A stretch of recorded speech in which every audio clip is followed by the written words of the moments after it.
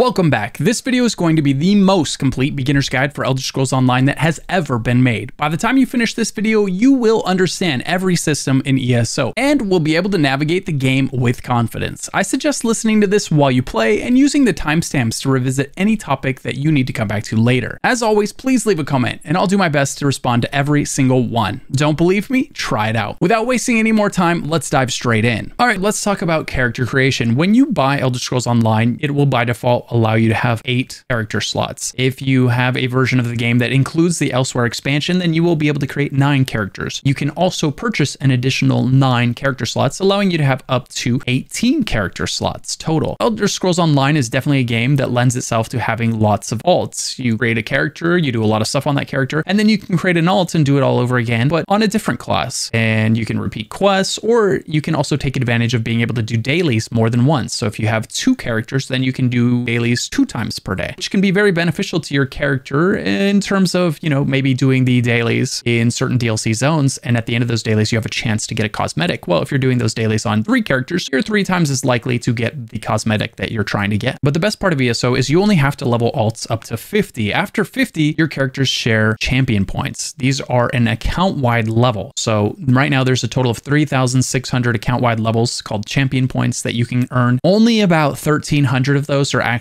effective champion points. Everything beyond that is kind of alternate loadout options. You can only use about 1300, 1400 of them at a time. And that might sound like a massive number, and it kind of is. It's a little bit of a grind, certainly getting all the way up to 1400. But fortunately for you, someone that's just starting the game now, they greatly expedited the pace at which you get champion points. So you earn champion points right now three times as fast as you used to. So your levels are going to fly. The first dungeon you do could give you as many as 50 champion points. So because champion points are account wide, you only have to get a character to 50, which you can do in as little time as a day. So if you're the type of person that's going to want to jump from a necromancer to a templar to a dragon knight and then to a sorcerer, then go ahead and play lots of characters. Or if you're the type of person that just wants to play one character all day, every day, there's nothing wrong with doing that either. It's not going to hold you back. Now let's go over the act of actually creating your character. The character creation process can be a little bit confusing, especially for a brand new player because of the three alliances that the game has to offer. Right now, the game has three alliances and 10 races. So you've got the Daggerfall Covenant, which means you would either be a Breton, an Orc, or Redguard. If you create an Aldmeri Dominion character, it's going to be either High Elf,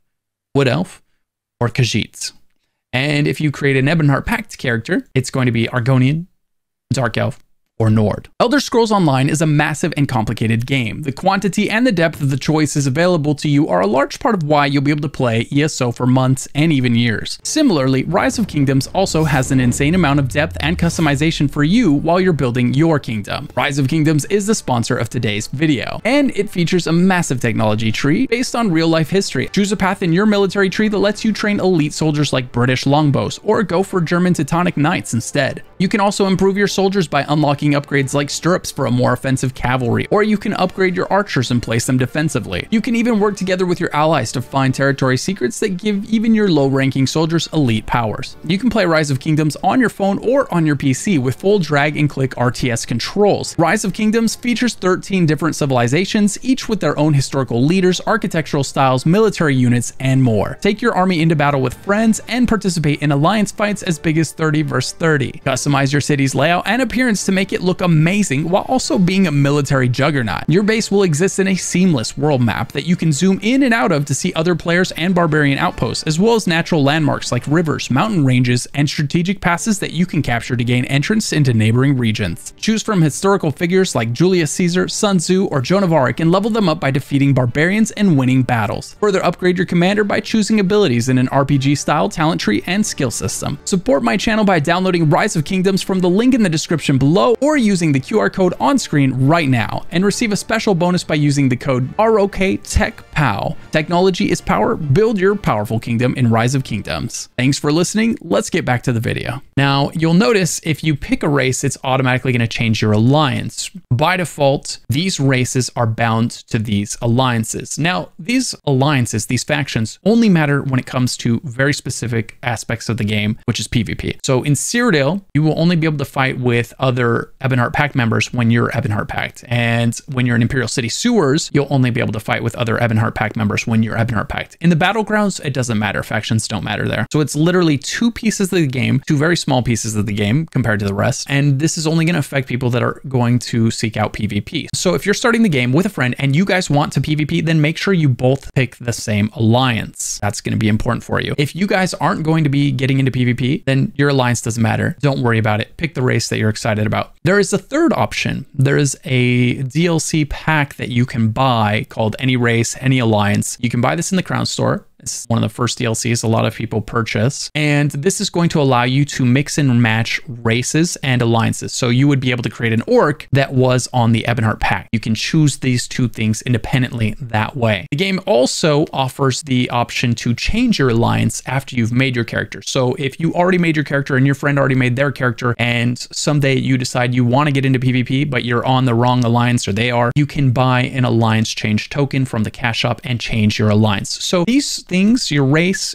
can be changed with cash shop transaction. Your alliance can be changed with the cash shop transaction. These are things that you can fix at a later date. These are not things that will break your character if you change your mind down the road. It's just going to cost you a little bit of money to do that. Now, once you've chosen your race, let's go ahead and go with a Breton here. You can either randomize your appearance here and, you know, hope it picks something decent or ridiculous for you, depending on what kind of look you're going for. Or we could go with female, same thing. We could randomize here. And this is a good way to see the wide range of options that you can eventually have. And we can go ahead and fine tune this look. So let's say we were going to go with this girl right here. And the first thing you could pick is, let's say you wanted to be choosing your class. You can choose Dragonknight, Sorcerer, Nightblade, Templar, Warden, or Necromancer. These are the six classes in Elder Scrolls Online. The Warden and the Necromancer were the first two DLC classes added to the game, and currently the only two DLC classes added to the game. So the first four are the base game classes. These two are purchased separately. The Dragonknight deals with a lot of poison and fire. The Sorcerer deals with a lot of lightning and wind. The Nightblade deals with like shadow magic and blood magic and stealth. The Templar deals with light and sunlight and that type of damage. The Warden is more of a nature slash summoner kind of class, you have animal companions like a bear and earth magic like trees and flowers and things like that. And then there's the necromancer who raises the dead and has a lot of undead magic and stuff like that. Uh, all of these classes are viable. All of these classes can do all content in the game. There is no class that is the wrong choice. If you're ever curious which class is currently the best, just look for one of my uh, which class is best this patch guides on my YouTube channel. I usually put a couple of these out every year just to make sure that they're always up to date for you guys. I also have class tier lists on my website. I'll put links to these things down in the description below so that you guys don't have to go hunting around YouTube or the internet for them. Uh, but just know that those are there in case you want to know which class is the best right now. But I would urge you not to make your decision based on that because it does change every three months or so. They're always rebalancing the game. The best class this patch is almost certainly not going to be the best class next patch, right? But the best is never far from the worst. And so you're going to be fine with no matter what you choose. Choose something that excites you. Choose something that aesthetically looks cool to you, whether it's poison and fire or shadow and blood, right? Pick what you're excited about. After your class, you can choose to alter your appearance. You can choose to make your character large or thin,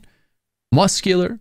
It's up to you, or somewhere in the middle. You can change their height, you can change their skin color, you can change body markings, you can change torso sizes, right? It's got everything that you would normally like to change in these types of games. It's got chest slider, it's got a posterior slider, and what else does it have? Foot, leg, right? It's got just about everything that you could possibly want for sure. It's one of the most involved character creators in the MMOs that are out right now. You can change your voice, and again, on your face, you can make it soft, angular, or heroic, and hairstyles you can mess around with. You can, there's an age slider. You can definitely make them look older if you'd like to, you know, whatever you're into. And uh, if you don't know, feel free to just hit that randomize slider until it gets close to something and then you can fine tune it from there. I do that a lot when I'm making my alts. I made like 15, 16, 17, 18 characters by now. And if I don't start by randomizing something, I always end up with a character that looks the same as all my other characters. So I usually start by randomizing until it ends up with something that looks kind of cool to me, and then I'll go in and fine tune it from there. Once you've settled on a look for your character, you can go ahead and name it. All right, and then create. And you'll be given the option to play through the tutorial or skip the tutorial. It doesn't matter which one you choose. If you play through the tutorial, it's going to eventually drop you into a room that lets you pick a portal that takes you to any expansion the game has come out with so far. If you choose to skip the tutorial, it's going to put you in the newest expansion that you own. So if you own High Isle, it's going to drop you at the beginning of the High Isle story. Whether or not you do the tutorial, you can start in any zone that you want. For this video, I'm going to go ahead and skip the tutorial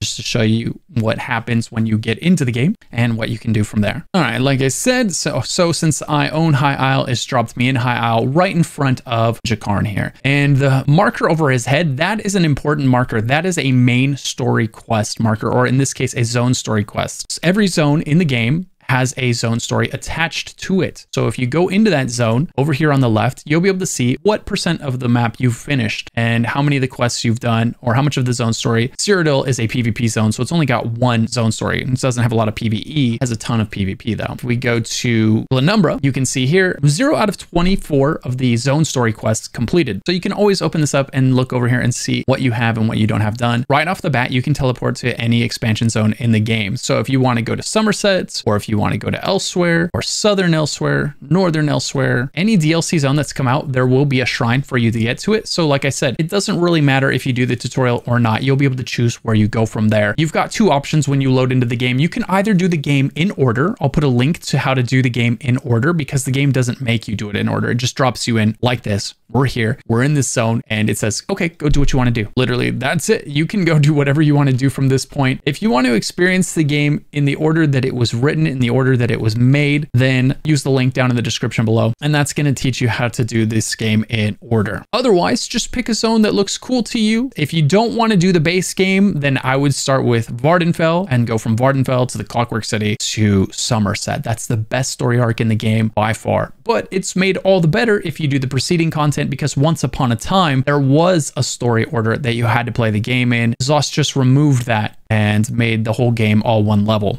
So once you land in the game, you're going to spawn right in front of an NPC like this one. He's going to have this marker over it. That is the zone story marker. There's a few different types of quests in this game. There's daily quests, which are going to have a blue marker above the NPC's head. That means you can redo those every single day. There's going to be little up arrows, like little white or black up arrows. Those are just one-time quests that you can do. And then there's going to be this quest marker. It's more of a diamond shape, you know, a little more frill to it. And this is a zone story quest. This means that up here you can see see anytime you're in a zone, it'll tell you how many zone story quests there are in that zone. And this is the story for that zone. It's a compartmentalized story that starts and ends in that zone. And you get, the, it's like a little mini story for the game. And every single zone in the game has its own compartmentalized story that you can play through. Now, you've got two options when you spawn in the game. You can either play through the game as it was made and as it was intended in its original design, which is going to start you on one of these little islands over here, and then you're going to go to like another one, and then you'll go through the zones. Like, for instance, if you started in Daggerfall Covenant anyway, if you were an EP, you'd start over here, play through these zones, and if you're AD, then you would start over here and on these little islands, and then go up into the mainland here this way, right? Right? So it kind of depends which faction you choose. There's a different order of the zones for every faction. And then after you get through your faction story, you would go into the expansion zones. Now, you can do the game in order. I'll give you a link in the description below if you want to do that because the game doesn't tell you how to do it in order. It just drops you into the game like it has for me right now in the newest zone that you own. Uh, so, you know, which can be a little bit uh, disorienting for new players. They're like, oh, this is where the game starts. But really, you just got dropped into the newest expansion that you own, which is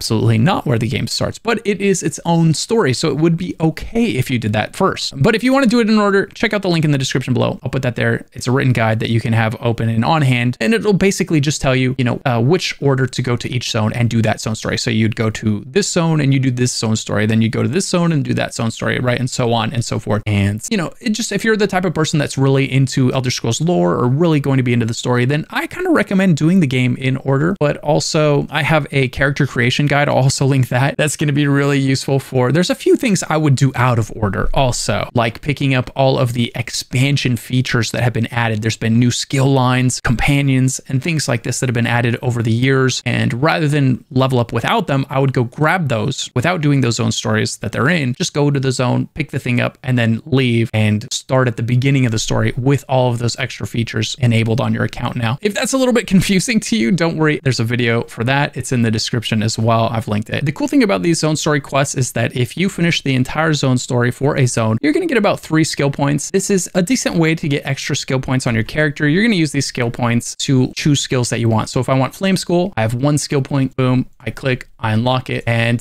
now I can slot it on my bar. Now I have zero skill points, right? So these cost skill points. You need skill points for these. And one way to get those is by doing zone story quests. Another way to get these is by just simply running around the map and collecting sky shards, which is a lot faster way to get skill points. Every three sky shards is going to give you a skill point. So that's the different types of quests you can do and the order that you can do the game in. You can either do it in any order that you want. You know, if this zone's beautiful and you just want to start in High Isle because it's pretty, it looks fun, go for it. If you want to do the game in order so you better understand the story and the characters that you meet along the way, well, then I've got a written guide linked in the description that'll help you with that as well. All right, the next thing that we're going to talk about is death and consequences. What happens when you die in Elder Scrolls Online? So we're going to go ahead and let our character die here. All right, so we've died. So what does this actually mean? Well, you've got a few options. You can see here at the bottom of the screen, it says you can res here and use a soul gem. You could also res at a wayshrine if you don't have a soul gem, or maybe that's just where you want to be anyway. So if you choose the wayshrine option, it's just going to take you to the nearest wayshrine, which is not far away from me right now. That would be something I could do, or I could use the gem to resume my battle with this enemy and get revenge on it. Soul gems have a couple of uses in Elder Scrolls Online, one of which is resing yourself when you die, uh, and another is resing your team teammates when they die. So in dungeons and in trials, like if you're in combat, you can't res yourself. Someone has to res you until you get out of combat. Then you could res yourself, and you would need a soul gem to res yourself. Likewise, if one of your teammates dies, they need you to res them, and you'll need a soul gem on you in order to res them. So you always want to have a nice chunky stack of these on you. You're almost always going to have way more than you need. I usually get uh, excess. I'll have multiple stacks of 200, and I always sell the excess. I never carry more than 200 on me. So anytime I have a stack of 200 and then a stack of 20, I'll go sell the stack of 200. It's about 6,000 gold, which is actually a really nice income. Uh, just checking these things when you have access. It's a good bit of money to help you get going early on. Empty soul gems will turn into filled soul gems kind of naturally while you're playing the game. So just know that you need some of these, but enemies will drop both soul gems and filled soul gems. So in this example, let's go ahead and res in place. We're going to use one of my soul gems. And what's going to happen is you're going to be ethereal. You'll be a little ghost real quick and you'll be invulnerable to damage. You can kind of sort yourself out, move yourself away from the enemy and get your composure again. And then after a few moments, boom, you're back and you could go and fight that enemy. Another use for soul gems is your enchants on your weapons. Weapons have enchants that you have to maintain their charge on. And the way you charge them is by using one of your soul gems. So right here at the top of this, you see that little blue bar and it's filled up. It's like 90% full, right? There's a little gap on the left and the right side. I can right click this item and then click charge and then choose the soul gem and it's going to fill that back up. Now, if we look at it, the blue bar is completely full. If your charge goes all the way to zero, then your enchant stops stops working. This weapon's firing chant, right? So it'll occasionally do 2,838 flame damage to my enemy. That is because of the charge on the weapon. So you always want to keep your weapons charge on, and you do that by using a soul gem. So when your charge gets to zero, don't worry, you don't have to buy a new item. And like I said, you're going to have way more soul gems than you need. So when you use these to charge your weapon, it's not a big deal. Okay, next up, let's go over the user interface. Mine might look just a little bit different than yours because I am using some add-ons, whereas you probably don't have add-ons installed yet. The first thing that's worth knowing is you've got your chat box here. You can grab the chat by the word chat and you can drag that anywhere you want. You can reshape it by grabbing the corner and make it any size you want. It's totally up to you. You can hit the period on your keyboard and this will bring up a cursor, which will allow you to grab things and move them around. Some stuff can be moved without an add-on and some stuff will need an add-on in order to be moved. If you want to move your skill bars or your health bars around, you're going to need an add-on to move those things presently. At the top, you have a compass here, and that compass is going to tell you where your objectives are. If you have a quest, you'll be able to find your quests on there. If there's a shrine nearby, it'll show you the shrine. If there's a point of interest, that'll be on there as well. And so you can use your compass much like you could in, say, Skyrim to navigate the world. Uh, ESO does not come with a mini map. My mini map is available because I have an add-on installed If you're on console, unfortunately, you will not have a minimap. And if you're on PC, you will not start with one unless you install an add-on that allows you to have one, which you know, I will link my add-ons guide. I think there are some incredible add-ons that have been made for Elder Scrolls Online. The minimap is just one of them. So if you if that sounds like something that would be nice to have, be sure to check out my add-ons guide. I'll link that down in the description below. Down here at the bottom of the screen, you'll see your skills. Typically, you'll only see one bar at a time. So you've got two bars of skills in ESO. We call them the front bar, which is going to be your top weapon here. And then we call the other one your back bar. So you can equip two weapons at once. So you could have a staff and then a sword or a staff and a staff. It's really up to you, but you can have two weapons and each weapon is what we call a bar because you have a bar of skills and then you can switch bars and then you have another bar of skills. So you can have a total of 12 different abilities slotted, five abilities and an ultimate on each bar. By default, you'll be able to see five abilities and one ultimate, and then you'll swap bars and you'll be able to see the other one. I have an add-on that lets me see both bars at the same time. Next to that, you have your active consumable on display. You can change the consumable that is active by holding down Q and selecting it from your quick slot wheel. So right now I have a potion active. So every time I press that button, my potion would go off, or I could change to my food and then eat my food. And that's going to give me a food buff. The way you change the buffs and the consumables that are on the bar is you open up your inventory and you click on the quick slot button. And now you can drag anything you want from your inventory over to here and replace the items or put them on there if you don't have anything there yet.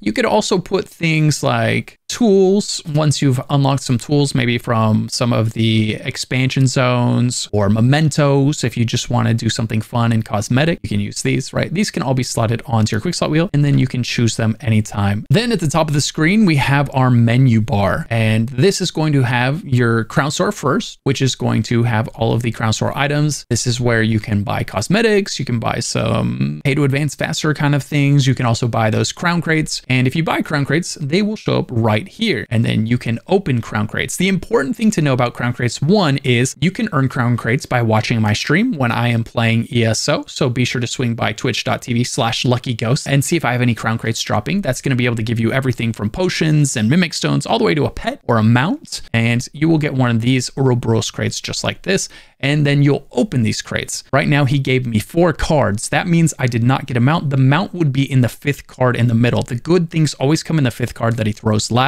If you get four cards, I'm sorry, that's not good news. So then we open these up, and as usual, we got some potions and a crown item right here, right? These are all items that I do not want to keep. I want to go ahead and convert these to gems. One of the nice things about the crown store is that when you open these crates and you don't get anything good, which is most of the time going to be the case, you can go back and then you can click this button here, gem extraction. Now I can turn these bad items from the crate into a currency called crown gems. And it's kind of like a mercy currency or a pity currency. So if you keep gambling on these crates and you don't get what you want, then you can go ahead and continue turning those into gems and eventually you'll have enough gems to buy whatever it is that you wanted in the crates. Like I mentioned, that means you're likely going to be spending somewhere around $400 to get enough to say buy something like these Radiant Apex mounts. If we go down here, uh, we can see this Radiant Apex mount here is going to cost 2000 500 gems. That is an absolute ton of gems.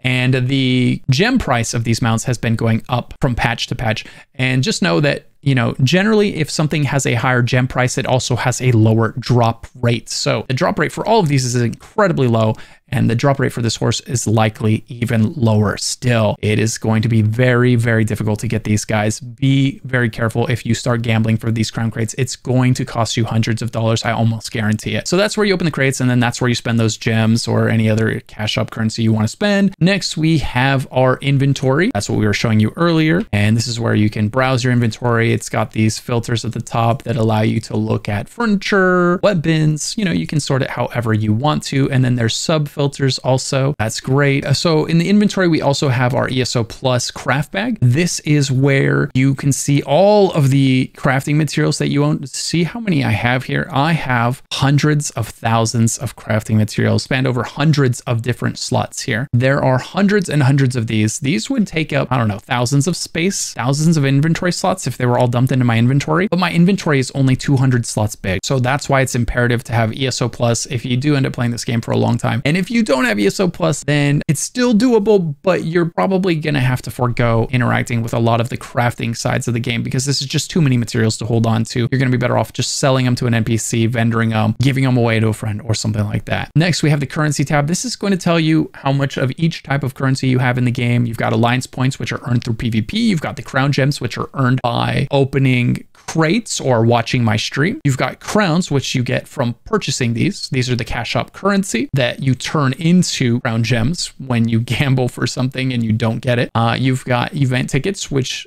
or every month there's an event in ESO, and usually that event will give between two and three tickets a day that you can use to buy some kind of cosmetic that is unique to that event. Then you've got your gold. Gold in ESO is going to be used for a lot of things. It's going to be used to buy upgrade materials. It's going to be used to buy items off of guild traders. It's going to be used for upgrading your bag space, right? Gold uses is used for a lot of things. As a new player, I would recommend spending your gold. The first thing you're going to spend your gold on is upgrading your bags and upgrading your bank space. You will never regret maxing out your inventory space and your bank space. So I say dump all your gold there first, as well as upgrading your mount at the mount trainer. I would start with speed if I was you, because you're never going to feel like you're moving too fast in ESO. It's a massive game with lots of land to cover, and getting that mount speed early really helps. Next, we've got your outfit change tokens. This is just going to let you change your outfit. Next, we've got without paying the gold fee that's associated with that. Not a big deal, honestly. Uh, and then we've got Seals of Endeavor. This is the free currency that was added to the game that you can use in lieu of crown gems. So if you want one of those really spicy mounts I was showing you earlier, there is a way to get those now without spending real money. But to get that mount that I was showing you, it's likely going to take you about 10 to 12 months of doing these daily quests. There's three dailies every day, and you have to do them every day for about 10 to 12 months, as well as there's one weekly you can do every week, and you've got to do that every week for about 10 to 12 months, and then you'll be able to get the mount. Unfortunately, the cash shop rotates mounts every three months. So if you see a mount that you like right now, uh, you probably won't be able to get it with these seals. It's best not to look at the cash shop until you have enough seals to get a mount and then start looking at it. Otherwise, the FOMO is going to get the best of you. Next, we have the Tel Var stones. The Tel Var stones are earned in PvP. These are specifically earned in Imperial City. That's a PvPvE zone where you can fight NPCs or you can fight players. And much much of the reason for being there is to earn this currency specifically. Then you've got transmute crystals. These are a very important currency in ESO. You get these from doing random daily dungeons or for participating in Cyrodiil, and these allow you to retrait your items. Every item drops with a trait on it, like Divines, which increases your Mundus effect, or uh, some other trait. And those traits are very important in ESO. They make they give you a very important stat. You can use these transmutes to retrait the item or to recraft it from scratch once you've already found it. I'll go over the transmute system in much more detail later in the video, but just know it's an important currency. There's a lot of reasons for it. Then we've got Undaunted Keys.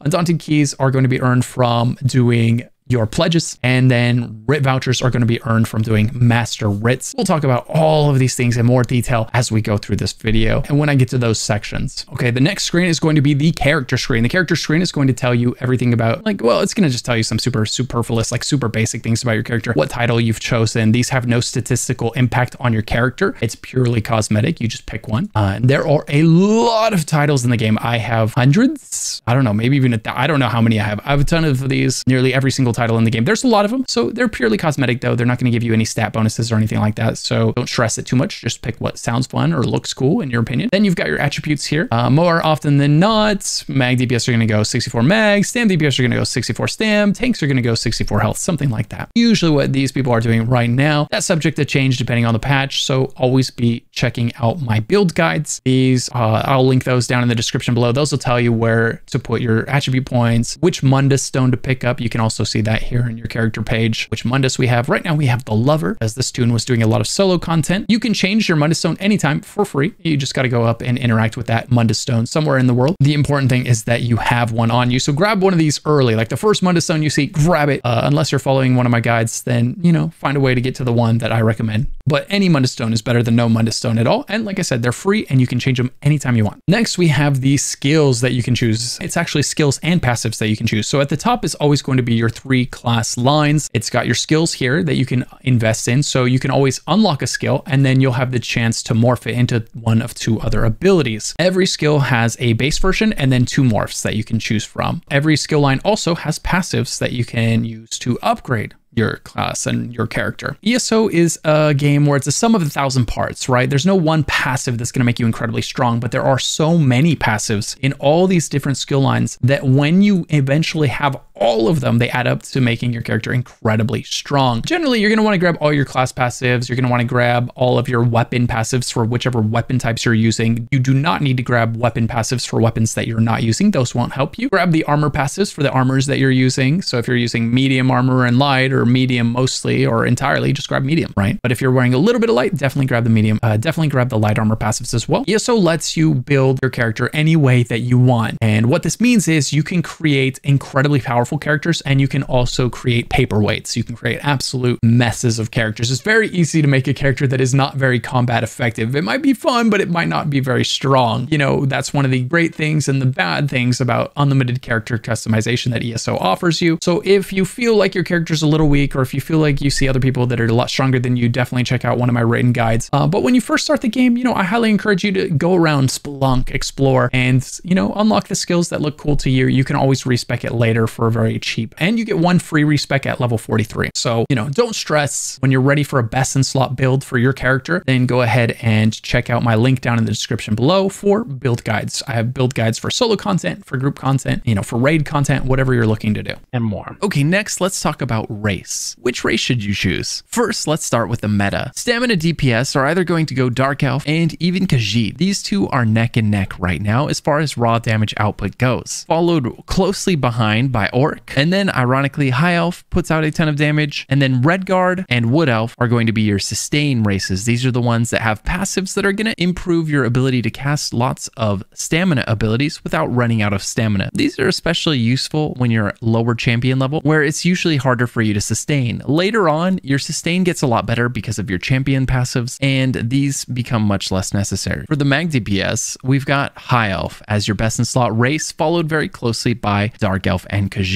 Next, in an interesting change of pace, we've got Orc, which is typically a stam toon, but since they have a spell damage line, they actually put out a decent amount of Magicka DPS. And then we've got Breton, which is your sustain race for Magicka DPS toon, which simply means they're able to cast more magic spells for longer without running out of resources. Same with the Redguard and Wood Elf for stamina. This is more useful early on when you don't have the champion points that are going to allow you to have better sustain. This is also insanely useful for solo builds where you don't have people in your party that are giving you buffs that improve your sustain. So Breton is actually a really solid choice for solo mag DPS, and Wood Elf and Redguard are fantastic choices for solo stam DPS. Next, we've got the healer and tank roles. The best in slot healer class right now is Breton for the sustain. Runner ups are going to go to Argonian, High Elf, Khajiit, and Dark Elf, and then the best tank class is going to be Nord, followed closely by Imperial and Argonian, and even Redguard is not a bad choice. Do you have to pick one of these? What if you don't like the meta options? Well, don't worry. These are just suggestions. These are just the ones that perform the best. But even the worst performers for a role are still going to be able to do all the content in the game, albeit it will be a little more difficult for them. The only place in which it really, really matters which race you pick is going to be in the very end game content where you want every advantage you can get just so that you have a chance at taking down the content that you need to take down within the time limits that are imposed upon you. Okay, so now let's dive deep into each one of these races passives and talk about which of their passives are actually useful, which ones you should pay attention to, which ones you should ignore, and what makes them tick. We're going to go through this list alphabetically, so let's start with Argonian. Argonian gets 1000 of each resource, which makes them a really well-rounded race. They get 6% increased healing done, which is one of the reasons that they're fantastic healers. They also get a disease resistance line, which I'm going to be honest with you, these two right here, we don't think about much. They're there, but they're not making a huge impact on any content in this game. This here is massive though. They get 3,125 health, magicka, and stamina every time they drink a potion. Typically when someone drinks a health potion, they get health and nothing else. If they drink a stamina potion, they get stamina and nothing else. And if they drink a magicka potion, they get magicka and nothing else, but not the Argonian. It's a tri-pot for them, which are actually very expensive potions most people have to buy. Argonians use any potions and they get a tri-pot for free, which means it's going to give them all three resources every time they drink a potion. This passive is especially useful for tanks who are constantly draining all three resource pools. And then we have the last passive line, which I'm going to go over for every race. And I want you to ignore this one when you're choosing your race because it doesn't matter. The reason this one doesn't matter is because it's always going to give you some kind of boosted XP, right? To a skill line, a weapon line, or an armor line. It's something that doesn't matter past the first 1% of the game. Your character is going to max out that skill line within the first week or two. And then you play this MMO for months or even years. And this line right here is doing absolutely nothing for you because it's so easy to get to max level on all of these skill lines. This passive on every race should be ignored when you're picking your character and think of it more like, oh, I picked Argonian. Bonus, I get Resto Staff skill line XP. But this should in no way dictate which race you play because after the first week of being on your character, it no longer matters because the skill line is going to be maxed out with or without this passive. Then it gets 50% swimming speed, the most RP passive in the game. There is no real water content in this game, so this passive is mostly a meme. Breton, 2000 max Magicka, minus 7% of Magicka abilities cost, 130 Magicka recovery. These three right here are the heart and soul of the Breton. This is why we pick them for mag toons. This is why healers choose them. They have fantastic sustain, unmatched by any other Magicka race. This sustain is perfect for healers, it's perfect for Magicka damage dealers, and they get spell resistance, which is fantastic for solo builds. I really like running Breton on a character I know I'm going to be doing almost exclusively solo content on because when you're soloing, that's where you're most likely to run into resource management problems. You don't have a healer throwing you resources, you don't have a tank buffing you. It's you alone that's responsible for making sure you don't run out of resources. So all of these passives are really nice. You will very often be burning, chilled, or concussed, so you'll get an additional 2310 resistances. This right here is going to be why this is a fantastic solo class. On top of the sustain, which is really difficult to manage when you're soloing, you get quite a bit of spell resistance, which is really nice as you will be taking all of the damage when you're soloing. You won't have a tank in front of you, so this is going to help to mitigate some of that damage for you, which makes Breton a really nice solo race. My favorite for Magic toons. And then we've got the last one, which I've asked you to ignore when considering a race, right? We get 15% light armor skill line XP. Great. You're to level up your light armor a little bit faster. Doesn't matter because instead of being maxed out in a few days, it's to be maxed out by the fourth day of the character, at which point this may as well have never existed. Also, you get 1% bonus alliance point gain,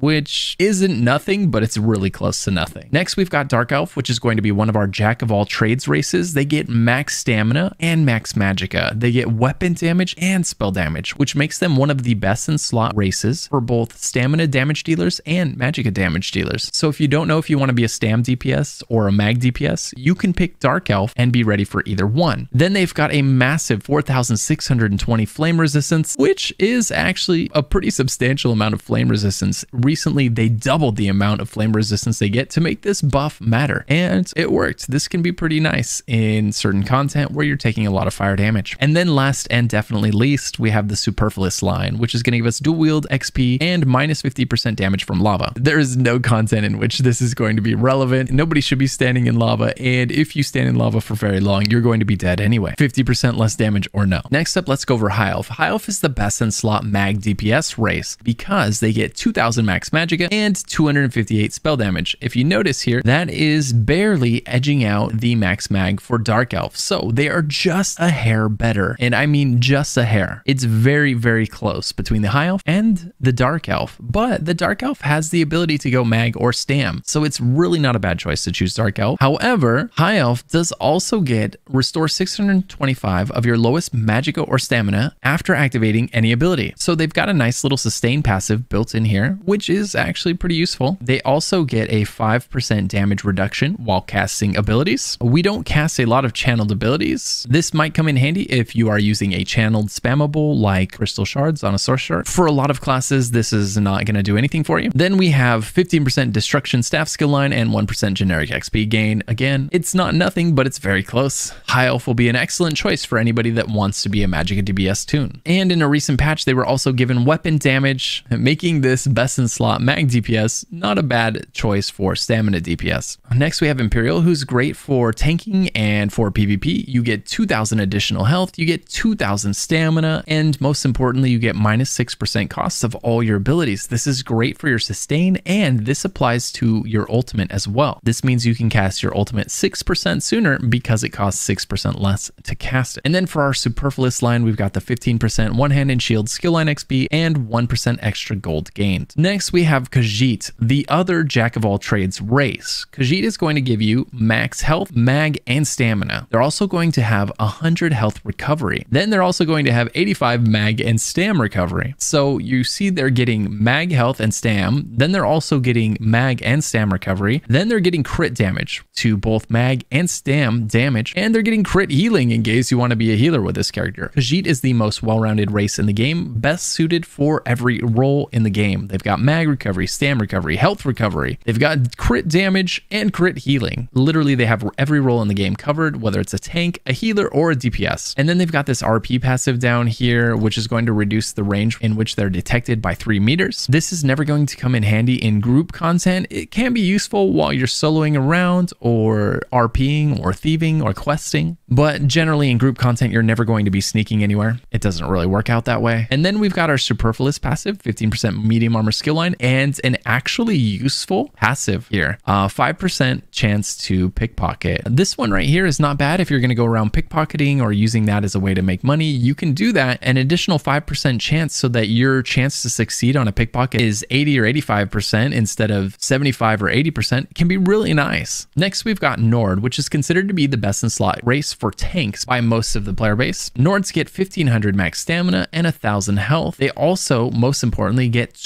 2600 physical resistance and spell resistance, and then an additional 4620 cold resistance. That is a ton of resistances to damage that they get for free. Other races, if they play tank, they've got to go and acquire these types of resistances by putting on gear. But not the Nord, they get it built in as a racial passive, which is a large part of why people choose them for tanks. And just like the other passive I talked about earlier, this one was recently doubled to make it a more meaningful passive. It used to be 2310 and now it's 4620, which means it's now something that's pretty exciting. They also get 5 ultimate generation whenever taking damage. Well, as a tank, they're always taking damage, which means every 10 seconds they get an additional 5 ult charge, which is great. One of the things tanks are doing the most in this game is casting their support ultimate to make their DPS do more damage or to help them survive. Either way, this is incredibly useful for a tank. And then finally, we've got the two-handed skill line XP. Again, please ignore this one when you're choosing your race. It doesn't matter. And then finally, we've got 15 extra minutes on a drink buff. This is nice if you're using a drink buff. 15 minutes is a decent amount of time. These buffs typically last for one to two hours. So 15 minutes on top of that is not bad. Next, we have the Orc. Orc used to be the best in slot race for stamina DPS, but they got a little bit of a nerf and some other races got a buff, making them now maybe the third best in slot for stamina DPS. They get 1000 max stamina, they get 1000 of their max health, and then they get a 2125 heal whenever they deal damage every four seconds. So this works out to be a little over 500 health per second that they end up having come in because of this passive, which is kind of nice for solo. It's not incredibly useful in group content. They also have 258 weapon damage and 258 spell damage. Because of this line right here, they're actually decent as a mag DPS choice, which is kind of weird, but this was added in the last patch. So there it is. They've also got a 10% sprint speed bonus and minus 12% sprint cost, which is incredibly useful for melee DPS as you're constantly trying to close ground on enemies, which means you're sprinting and it's costing you 12% less to do so than other races. And then last and definitely least, they get their heavy armor skill line XP, which you should ignore. And then they also get a 10% inspiration bonus, which means when you deconstruct gear, your crafting bench levels 10% faster. And just like your heavy armor skill line, your crafting benches will be leveled in a matter of days or a couple of weeks. They'll be max level. And then this passive line, again, it's going to be doing nothing for your character. So do disregard it when choosing your race. Next, we have Redguard. Redguard gets 2000 max stamina, minus 8% weapon ability cost. For these reasons right here, it's an especially good stamina DPS class, particularly when it comes to sustain. Great for low CP characters or new players. Decent for tanking, but with sustain being what it is presently in the game, it's it's fairly easy to sustain, especially in group content. And this passive is a bit overkill. I would much rather have the weapon damage from one of the races that gives weapon damage if I'm going to be a stamina DPS. They also get minus 15% snare slowing. This feels really good. They get 1005 stamina restore when dealing damage, improving their sustain even further. And then again, 15% one-handed shield skill line XP and an extra 15 minutes on food buffs. Most of our buffs in this game are food buffs, so you get an extra 15 minutes on that one or two hour buff. It's nice. It's not nothing. This one's actually something, but it's nothing to write home to mom about. And last but not least, the Wood Elf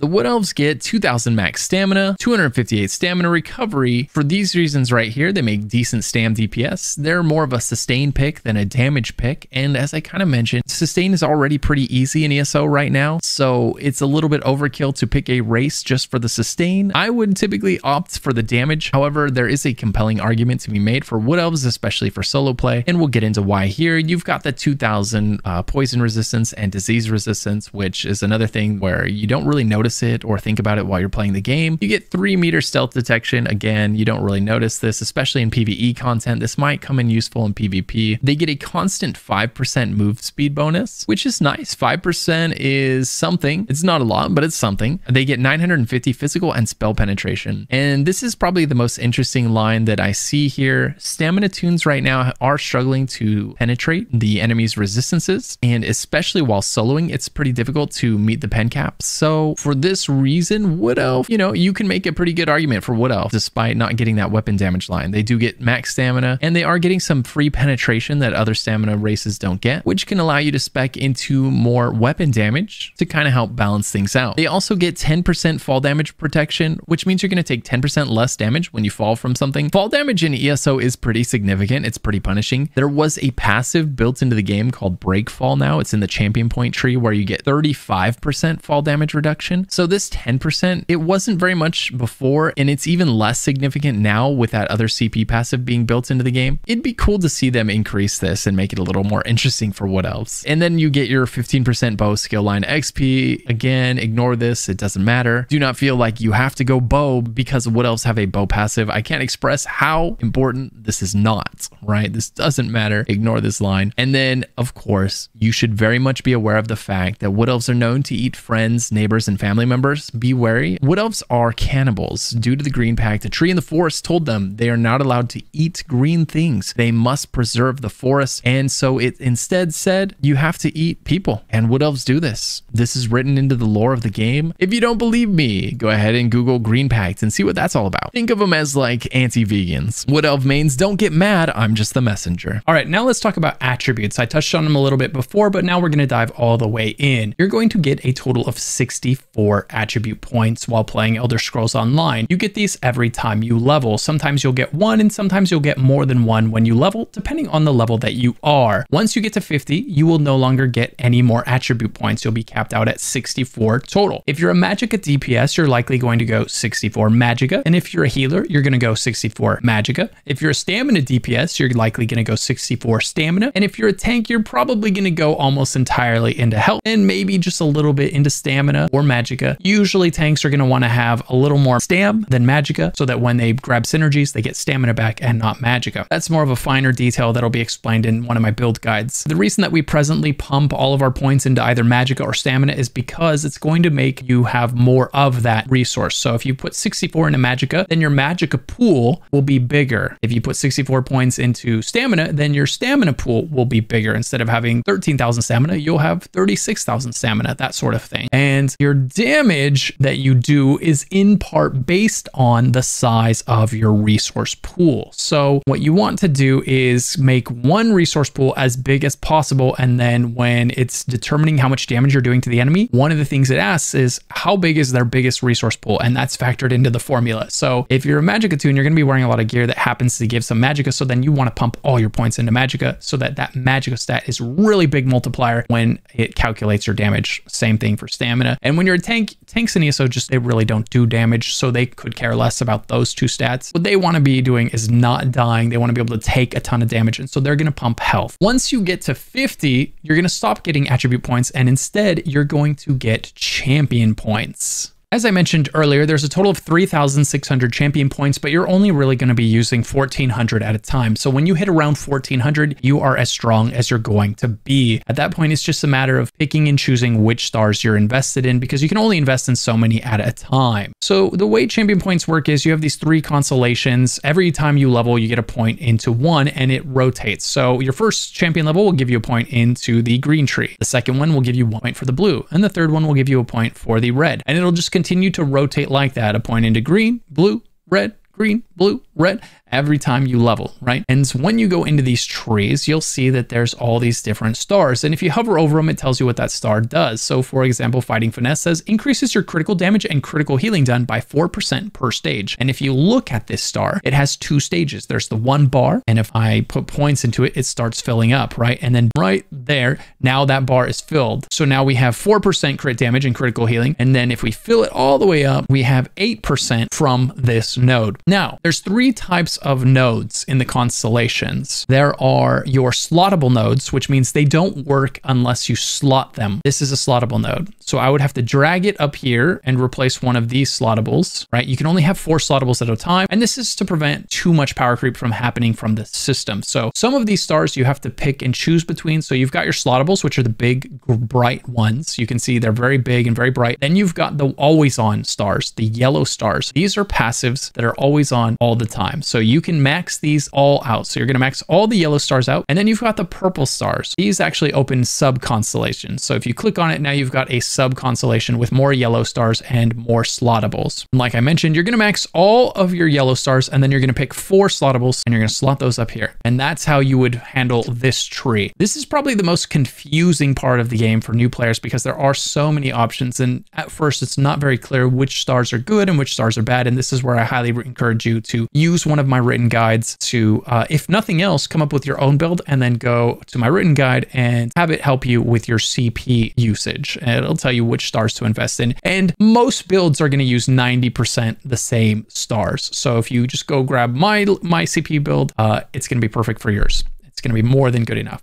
And you're going to have to repeat this process for each tree. So blue tree is going to be your offensive tree. This is where your damage is coming from primarily. The red tree is going to be damage mitigation and sustain. And then the green tree is going to be quality of life things. So like taking less fall damage, 50% reduced cost of your wayshrines, right? There's no power in the green tree. The whole point of the green tree is it's supposed to be the fun tree. This is where you can kind of, you can spec into things based on what you're doing. Some of these make you better fisher. Some of them make you a better thief. Some of them make you move faster. Some of them make you use less potions when you're in combat. Some of them make you gather better, right? So it's mostly for all of the uh, RP side of the game, the collecting and the, the skilling and all that sort of stuff. So this is personal preference almost entirely, whereas the blue tree and the red tree are very much going to determine how strong your character is. Next up, I'm quickly going to touch on major and minor buffs. The way major and minor buffs work in ESO, these are very, very important. These are very powerful buffs. The named buffs are very powerful. And generally, when you're putting your build together, you're going to want to make sure that you have a few very critical ones. And right now, for instance, if we look at this skill, Barbed Trap has minor force attached to it. You can see it there in the description of the ability. So minor force will stack with major force, but minor force will not stack with minor force. The purpose of giving these buffs buff's names is so that you know that you cannot stack it with another buff of the same name. So you would not want to wear two skills that give you minor force, or you would not want to wear an ability that gives you minor force and then wear an armor that gives you minor force, right? Because minor force does not stack with minor force, but you could wear something that gives you minor force and wear something that gives you major force as long as it is not the same exact name. So a minor buff will stack with a major buff and a minor buff will also stack with a different minor buff. So you could have minor force and you could stack that with minor savagery. As long as it's not the exact same name, you're good to go. That's just something that's worth mentioning that a lot of people don't know about when they first jump into ESO.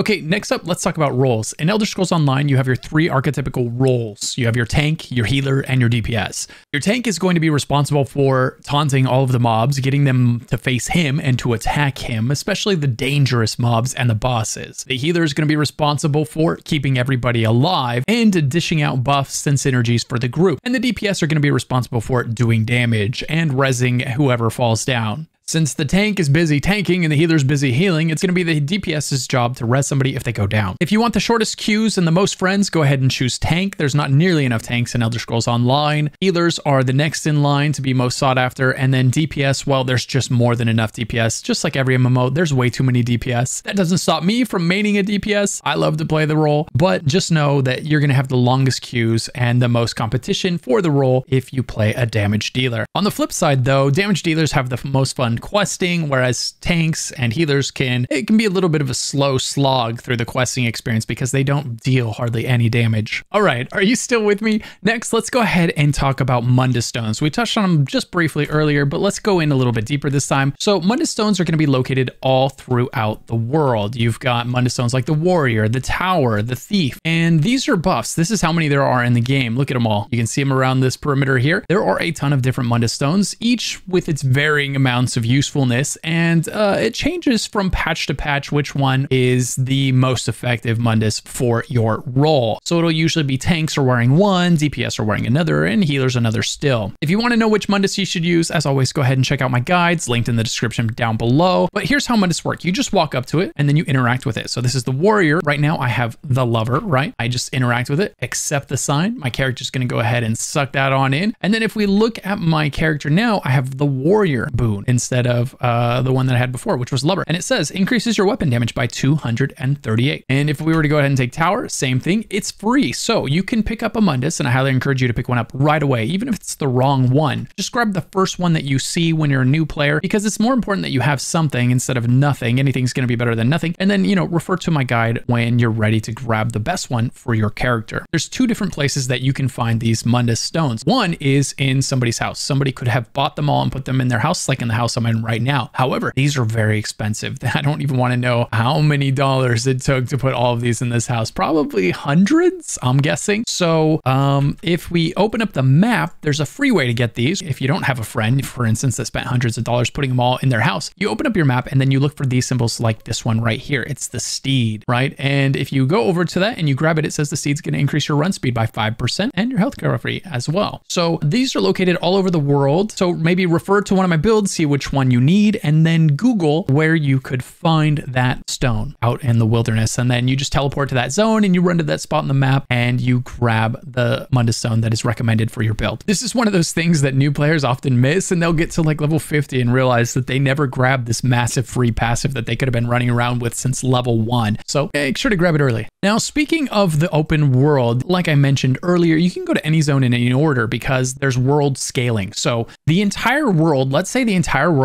is CP 160. The entire world is built like all your enemies are CP 160. And when you're level one, you're being given a hidden buff that makes your character perform as though he is CP 160, right? You're getting this buff, this general buff that makes your character a lot stronger than it is. So that allows your level one character to fight these 160 mobs. And when you level, that buff is slowly stripped away from your character so that when you, so you'll see as you level, your stats are actually going to go down unless you put on higher level armor to replace those lost stats, right? So if you keep leveling up, but if you don't put any gear on, your stats, your character's actually getting weaker if you're not replacing your gear as you level up. So if you're wearing level 20 gear at level 20, you'll be at 100% effectiveness. But if you're wearing level 20 gear at level 40, now your character is only like 50% effective, right? You're actually, even though you're higher level, your character actually got weaker because you didn't replace that buff that's being stripped from your character. And then from 160 and beyond, you're just pure growth. You're just getting stronger every time you level. That power creep is really starting to kick in, and you're going to notice that your character starts to kind of trivialize a lot of the questing content. It's not going to be, uh, let's say, very challenging for you out in the open world. You're going to have no problem knocking down those world bosses, the delve bosses, and the public dungeon bosses. Anything that is single player, you will absolutely crush so once you hit 160 and beyond. When it comes to replacing the gear and the power that you're losing as you level up, your weapon is going to be the most important one. And we'll probably talk about that a little bit more in the gearing section, but your weapon is the thing that you want to be the highest level. Your weapon is the thing that you want to be the highest quality. Weapons have the single most damage gains attached to them. All right, next up, we're going to talk about respecking your character. So let's say that you're in here and you're choosing your skills, and then eventually you decide, eh, I don't like this build. It's not feeling great. I want to change my skills. I want to change my passives. Your character is very fluid in ESO. They make it very easy to respec anytime you want. So don't stress about which skills you pick. You can come here and respec for next to nothing. It's a negligible fee. There's two things that you can respec here. One is your attributes, and you just come up to the Shrine of Auriel. These shrines are located in all of the faction cities in the game. So here's the one in Elden Root. You just come here, and then there's the shrine right there, for example, uh, the TP shrine. So you teleport there, and then you just run right over here,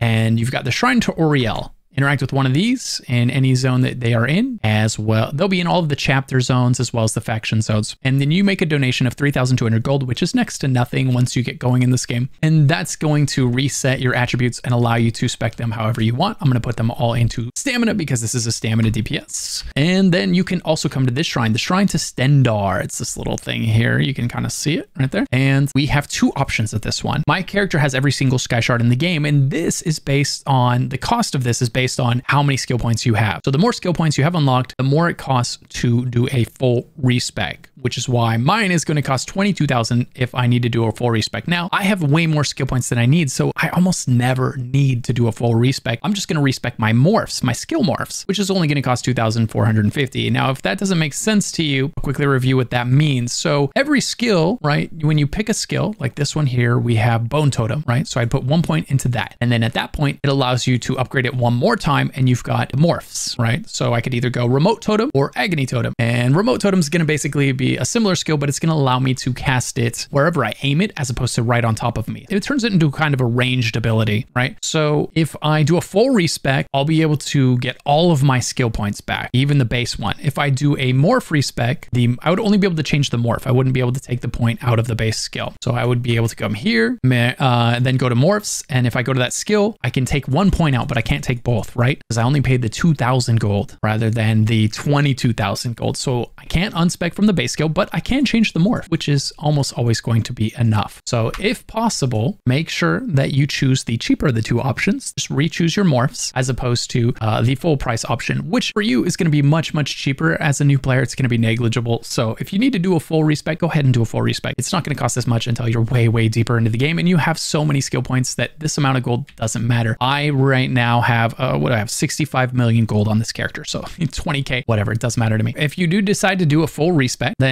what you're going to be able to do is you're going to be able to take all the points out of a skill. See, it turned gray. I got all my skill points back. You're also going to be able to take points out of passives as well. If you're doing a partial respec, you won't be able to take these passive points out. Those are going to have to stay and you're only going to be able to take the morphs out. All right, next we're going to talk about one more cool thing you can do in this area right here, which is you can talk to this priest. Now, the reason you would talk to this priest is if you have been cursed by the werewolf curse or the vampire curse, right? So if you're a vampire or a werewolf, he will give you the option to cleanse yourself for a negligible fee, something like 69 gold, no joke, right? So you come here and you then remove that curse. If you turn into a vampire or a werewolf, there's some good things that happen and there's some bad things that happen to you, right? It's a bit of a kiss curse kind of situation. So vampires, for instance, they get some cool vampire passives that reduce the damage they take when they're low, but they also have some downsides like they take more damage from fire and non-vampire abilities cost more. Similarly with werewolves, you get extra stamina regen and some other cool passives, but you also take more damage from poison. So it's a little bit of a give and a little bit of take when you take on one of those curses. So sometimes you might decide, ah, you know what? I don't like being a vampire anymore. I don't like dealing with the downsides of it. I don't want to manage that. So you come to this guy and you can remove it. He is standing next to these shrines. So every time there is a shrine to Stendarr and a shrine to Ariel, there's also the priest standing next to it where you can remove the curse of the werewolf or the vampire. All right, next up, let's go ahead and talk about sky shards. This is a sky shard right here. When you see one of these out in the world, you should grab it. Every three sky shards that you pick up, you get one skill point. When you grab it, this will happen. It'll play this nice little animation here. And that when you get a third one, you'll see it just went from five skill points to six. Now I have zero out of three. So that'll fill up. Every time I grab one, it'll go one out of three, then two, then three out of three, uh, and it'll go back to zero and I'll get a skill point instead. So every three that you get, you get one skill point to spend in here. You can unlock skills and passives with it. Grab them whenever you see them. You can see them on the map. They have this symbol right here. If you go near one, it'll automatically pop up on your map. That's the game's way of helping you find it if you get close. Uh, so because they can be kind of tucked into weird little places, kind of hidden out of sight, uh, and that's just them being nice. They added that feature kind of recently, actually, and but but that only activates once you get fairly close to it. There's a nice add-on called Map Pins. By the way, I will link my add-ons guide in the description below so that you can have all of my favorite add-ons. There are some really essential ones there, uh, but Map Pins will make it so that you can see them all over the map, regardless of whether you've been close to it. So like this one over here, I've never been anywhere near it, but I know I need to swing by that area and grab that sky shard on this character because I have not done that yet. All right, next up, let's talk about guilds. In ESO, you can be in five guilds at any one time, and that's because guilds have very specific purposes in ESO. In ESO, you can be in a trading guild, you can be in a uh, PvE guild, a role playing guild, a social guild, a PvP guild, a questing guild, or a crafting guild, right? So, because the only way to use a guild trader is to be in a trading guild, ESO lets you be in up to five guilds, basically. This is the reason. Otherwise, you can't really interact with the economy in a meaningful way. You've got to be in a trading guild, and that trading guild must have a trader. So, one of the things you're going to want to do once you have a ton of stuff that's worth selling is come in here, click on trading, and then click on has trader, and then you're going to want to join one of these trading guilds. And you'll notice looking for serious trader, join us. We have a consistent high selling kiosk, 200K in sales or 30K raffles weekly, right? So they want you to sell 200,000 gold worth of items every week. A new player should not join this guild because you're going to fail or you're going to stress trying to meet the sales quota and it's just going to be it's going to turn the game into a job for you. So don't join something like that. You want to join a uh, a casual guild. So you would be going in here and looking for one that says, "Hey, we welcome new players," or "There's no fees," or super low fees. Something real easy for a new player to basically join, right? So this one right here, no fees or mins. Let's make gold together. This would be a great one uh, for a brand new player. Likewise, you can use this to search for a group PvE guilds. These are what you would use to maybe find a guild to actively do trials and dungeons with. Uh, it's going to be a lot easier to join trial groups if you're in a guild that's running trials actively, as opposed to going to the zone of Craglorn right here. And you would stand in Belkarth, this town right here, and you just shout for a group for a trial just like until someone hopefully picked you up or until you formed one yourself, right? It's not the best way to get into a trial. Much better to join a guild that does that stuff regularly. Um, so definitely take advantage of the guild finder. In order to get to that, you just press G on your keyboard or open up the menu right here, guilds, and then you can click through and search for guilds that you want to join. That is the real player type of guilds. Okay, now let's go over the PvE guilds. These are the guilds that you could pick up and they'll give you extra skills and extra passives to use. And some of these are going to be good for solely that activity. Like Thieves Guild is not going to make you stronger in combat, but it will make you better at thieving. So you'll, like haggling, you can sell your fence items for 10% more. That's nice, right? A little extra income, but it's not going to make you stronger in trials and in dungeons. Same thing with Dark Brotherhood. No power in here, but there is some quality of life and some nice Dark Brotherhood related like passives like uh, bounty heat resulting from a witness murder or assault is reduced by 50%. So you have to pay less bounty if you get caught. Nice little passives in here. If you're doing that kind of like RP activity, uh, the other guilds, fighters, mages, Psijic, and undaunted, these are all going to have skills and passives that help you do more damage in combat. One thing to know about these guilds is if you hover over the bar at the top, it tells you how to level that guild. So if we hover over the bar here, it says improve the skill line by increasing your rank in the Dark Brotherhood, complete Gold Coast story quests, perform contracts, fulfill sacraments, right? So if you're ever not sure how to level a guild that you've unlocked, just hover over that bar and it will tell you. Fighters Guild, destroy Dark Anchors, or kill Daedra. Boom, easy, nice, man. So Dark Brotherhood, like I mentioned, this is going to be passives uh, that are mostly just like RP related. Fighters Guild, you've got some really powerful passives in here. These first four passives are so good right now. And uh, the skills are being used a lot right now. That's always subject to change. That's just the meta that exists today. So always check my written guides to find the most up-to-date builds and which guilds are in, which guilds are out. This first passive is always going to be useful though. No matter the meta, it allows you to intimidate NPCs. This opens up dialogue options that allows allows you to skip, let's say, trivial parts of quests. So if you don't have this option, the NPC might say, now go pick up 10 rocks. And you have intimidate. So you could be like, nah, man, I'll bash your skull in if you do make me go do that. And he'll be like, okay, you know, never mind. You don't have to go pick up the 10 rocks. And you're like, that's right. Thank you. Right.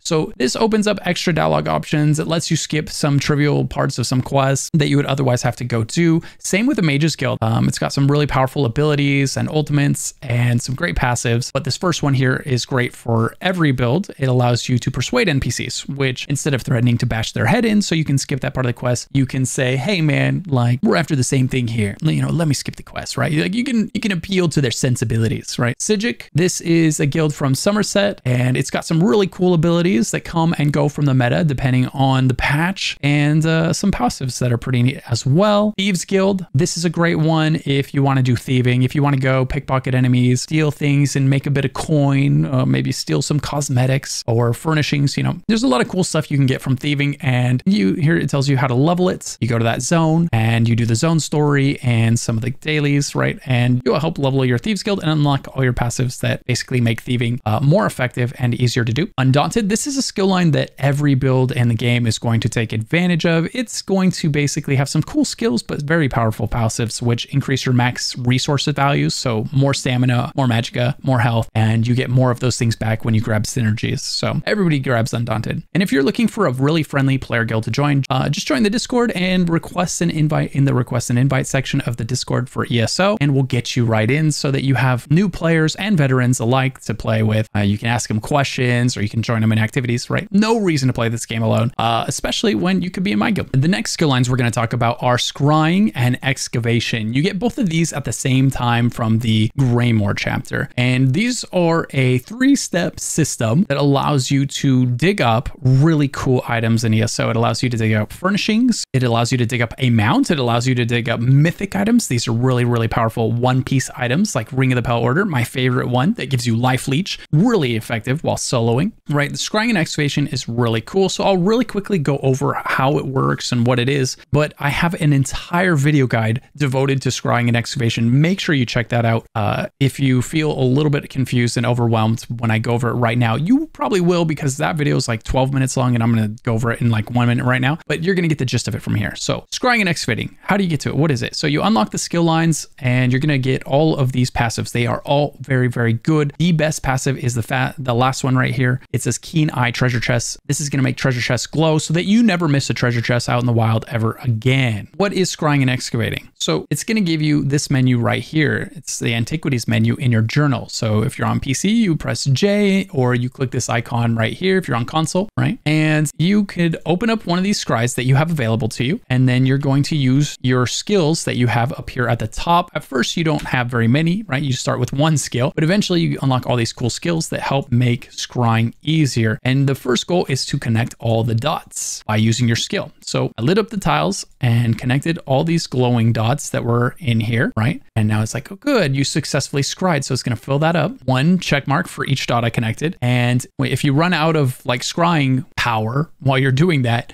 and you only connect five of the dots, then you'll have two things. If you only connect four, you'll have three places you have to go search for the item, right? So it says, uh, go down here and scry the item. So we would come over here. Now we're down here in the middle of that blue circle, and we're gonna use our antiquarian eye. This thing right here on my Hot Wheel. Now you can see it's selected here. You can get that on the Hot Wheel by pressing, uh, well, opening your inventory, going to quick slots, going to tools, dragging the antiquarian eye onto the wheel, right? Then you use it from here. And if you use it, there's going to be this thing that spawns and it's pointing towards, right? The light is going towards your destination. So if you're not sure which way you go, which way is the light traveling from this thing? It's traveling this way and it points right here. Boom. A lot of people, they do this and they don't know you can put the eye on your wheel and have it tell you where in this big giant circle because this is kind of a small one. Sometimes it's really big and there's a lot of stuff around and it's really hard to see this dig site. So using your eye to point to it is great. Then you're going to get this screen right here. This is where your excavation skill line, that was the scrying skill line. So when you get all those scrying passives, it makes scrying easier. And then as you level up excavation, it makes excavating easier. So at first you'll start with only this little brush, but then you unlock your trowel and your shovel, making it a lot easier to dig up your treasure. You're going to start off by using this as a hot and cold indicator, your auger here. So I always do the four corners, right? And I got lucky. I didn't even have to do those. It was right here. So now I'm going to try to pinpoint where, right? Green means it's under this spot. Yellow means you're close. Orange means it's, well, it's in the white area. You see that white outline? So that means this is telling us some part of the treasure is under this area here. If we follow that white box that it makes, right? And that's why it's hitting this node right here. We know that it is here and it is here. So I'm going to dig it up. I'm going to dig that area right there. So I'm going to flatten this whole area so I can use the shovel. Again, I'm going a little bit faster. I'm not really explaining how to use all the tools. For that, you should watch my complete guide on how to do that. I dug up the treasure. I even got one of the little bonus treasures and we can further connect these fissures, okay, by having a equal depth connecting all of them and then using a double charge of the trowel. I know this is, oh, I trust me, I know this is a bit confusing because I'm going kind of fast, but boom. And that exposes the other secret treasures. Okay. The thing about the secret treasures is they are exposed not in a specific place, but by the number of tiles that you dig up. So this one was under the sixth tile, let's say, that you exposed. If the sixth tile you exposed was here, the treasure would be here. If the sixth tile you exposed was here, then it would show up over here, right? They are not in a set location. It's more of a mini game to unlock, like uncover uh, a number of tiles. So if I would have dug all of my tiles in the top left corner after, you know, digging up this, all of the bonus treasures would have been up here in the top left corner. Uh, hopefully that makes sense. It's just that their location is not bound to any one spot in here. It's bound to a number of tiles that you had uncovered. So really the name of the game after you dig up your treasure, you must do that first is to dig up as many tiles as possible. Um, and fissure connecting is the best way to do that. If you ever have any questions on fissures or scrying and excavating, check out my scrying and excavating guide, link down in the description below. I have a whole video guide on that. It's kind of like, it's a big topic to put into this really long guide. So yeah, that's scrying and excavating. And as you can see, it gave me a new lead that I could go and I could go dig that one up next if I wanted to. Um, it could also give you a lead for the mythic item or a piece of furniture, right? You never know what you're going to get from those things. If you want to dig up certain leads or certain mythic items, be sure to check out my website. It has locations of the leads for mythic items, especially the best mythic items. So check that out. Link down in the description. All right, next, let's dive in a little bit more on the front bar and back bar, how they work, why they work the way that they work, how you should expect to be utilizing them in the future.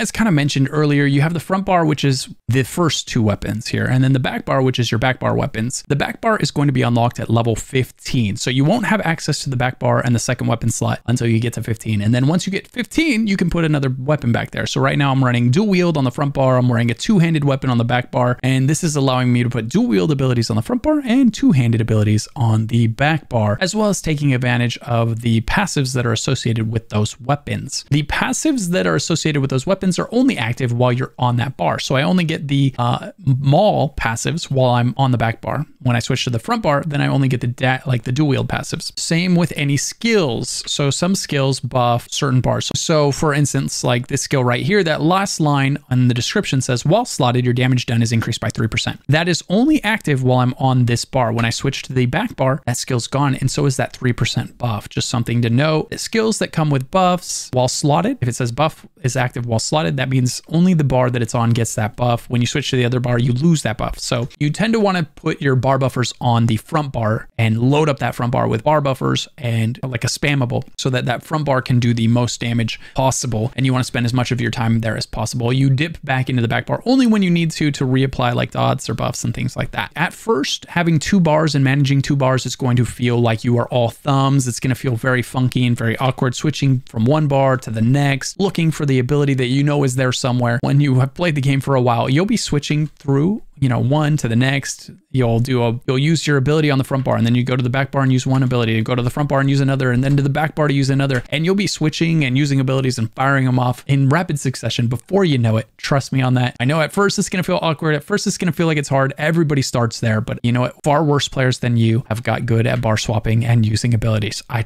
i just promise you that okay? All right the next thing that we should go over is gear and sets. So elder scrolls online has uh a couple different types of sets in this game. Actually, quite a few different types of sets. Elder Scrolls Online has, I think, over eh, around or over 500 sets in the game right now. Sets are, well, you get five pieces of a set and you get buffs for each different combination, right? So at two pieces of the set, you get, in this set, critical chance. And on three sets, you get Minor Slayer. So if we take Relly, for example, Relequen's Perfected Jack, when I have two pieces of this set, I get 657 crit chance. When I have three pieces, I get Minor Slayer. When I get that fourth piece, I get another line of crit chance. And when I have all five pieces, I get another two bonuses, right? So sets in Elder Scrolls Online work in that way. If you have two pieces, you get a bonus. If you have three, you get another one, and four, and so on, all the way up to five pieces for most sets. There are some sets that are less, and there are some sets that are more, but most of them are five pieces. So generally, most builds, and I do say most because there are exceptions, most builds are going to be running two different five piece sets. So you'll run five pieces like on the body, right? One, two, three, four, five. And then you'll run five pieces on the jewelry and the weapons, right? One, two, three, four, five or one, two, three, four, five, right? A two handed weapon counts as two pieces of a set. That's very important to know. A lot of players start the game and have no idea that that one item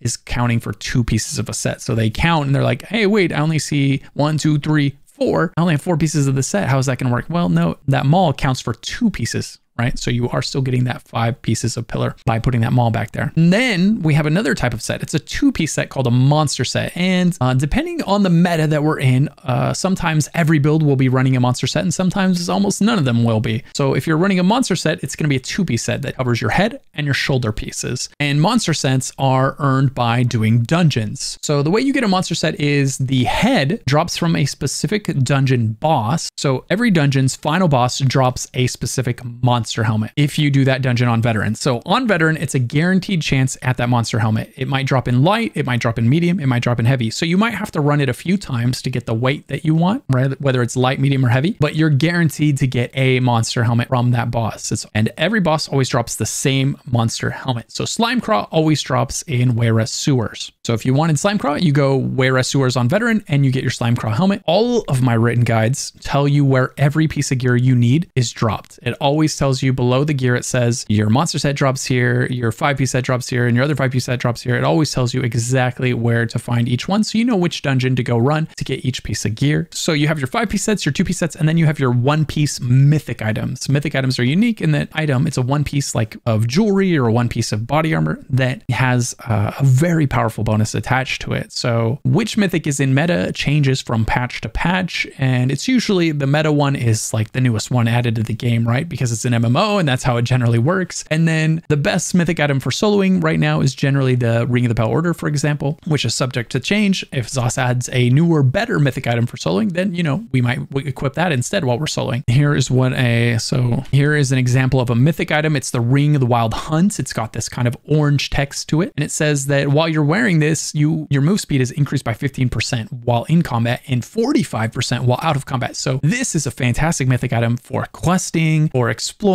or uh, thieving, right? Because you are just zipping around. You move so fast. That 45% move speed is very, very fast. It's worth noting your move speed caps out at a 100% bonus. So whatever you do, don't try to get a, like a ton of move speed items and put them all on one character because you will be wasting a lot of that. You can only get plus 100% over the normal move speed. So this item alone is giving you 45%. You get a passive from the CP that gives you some more move speed. You get another item and boom, you're capped out on your move speed. So uh, just be aware of that. If you do start sacking move speed, it only lets you get 100% move speed. Same for your mount. Your mount can only have up to 100% bonus move speed. All right, next let's talk about mounts. Mounts in Elder Scrolls Online are a mobility tool, but a little bit more than that also because you can upgrade your mount to upgrade your character. Uh, mount upgrades are character specific. So if you fully upgrade your mount on one character, then all of the mounts on that character get those upgrades. But if you change to a different character, he will have zero upgrades. So let me show you what I mean by that. So what you're going to do is come to a stable master. It might look like this on the map if he's standing by himself. From here, see the little horse? You go to that horse. In some zones, there won't be a horse on the map because it'll be standing some next to something else. Yeah, so you'll go to this horse on the map or look for the stable master. If you don't see a horse, it might be next to something, you know, like um, if we hover over this, there's a bunch of things on that tooltip. So uh, sometimes the stable master doesn't get the little horsey icon. He's mixed in with something else, but go to the stable master, generally a horse icon on the map, and you talk to him and he's going to show you the three things that you can upgrade. You can do one upgrade per day for 250 gold. It's a very trivial amount of gold. Do it every day. You're going to want to start with speed. At least most people will. Unless you don't have ESO plus, then there's a case to be made for carry capacity because your inventory is going to be a nightmare. So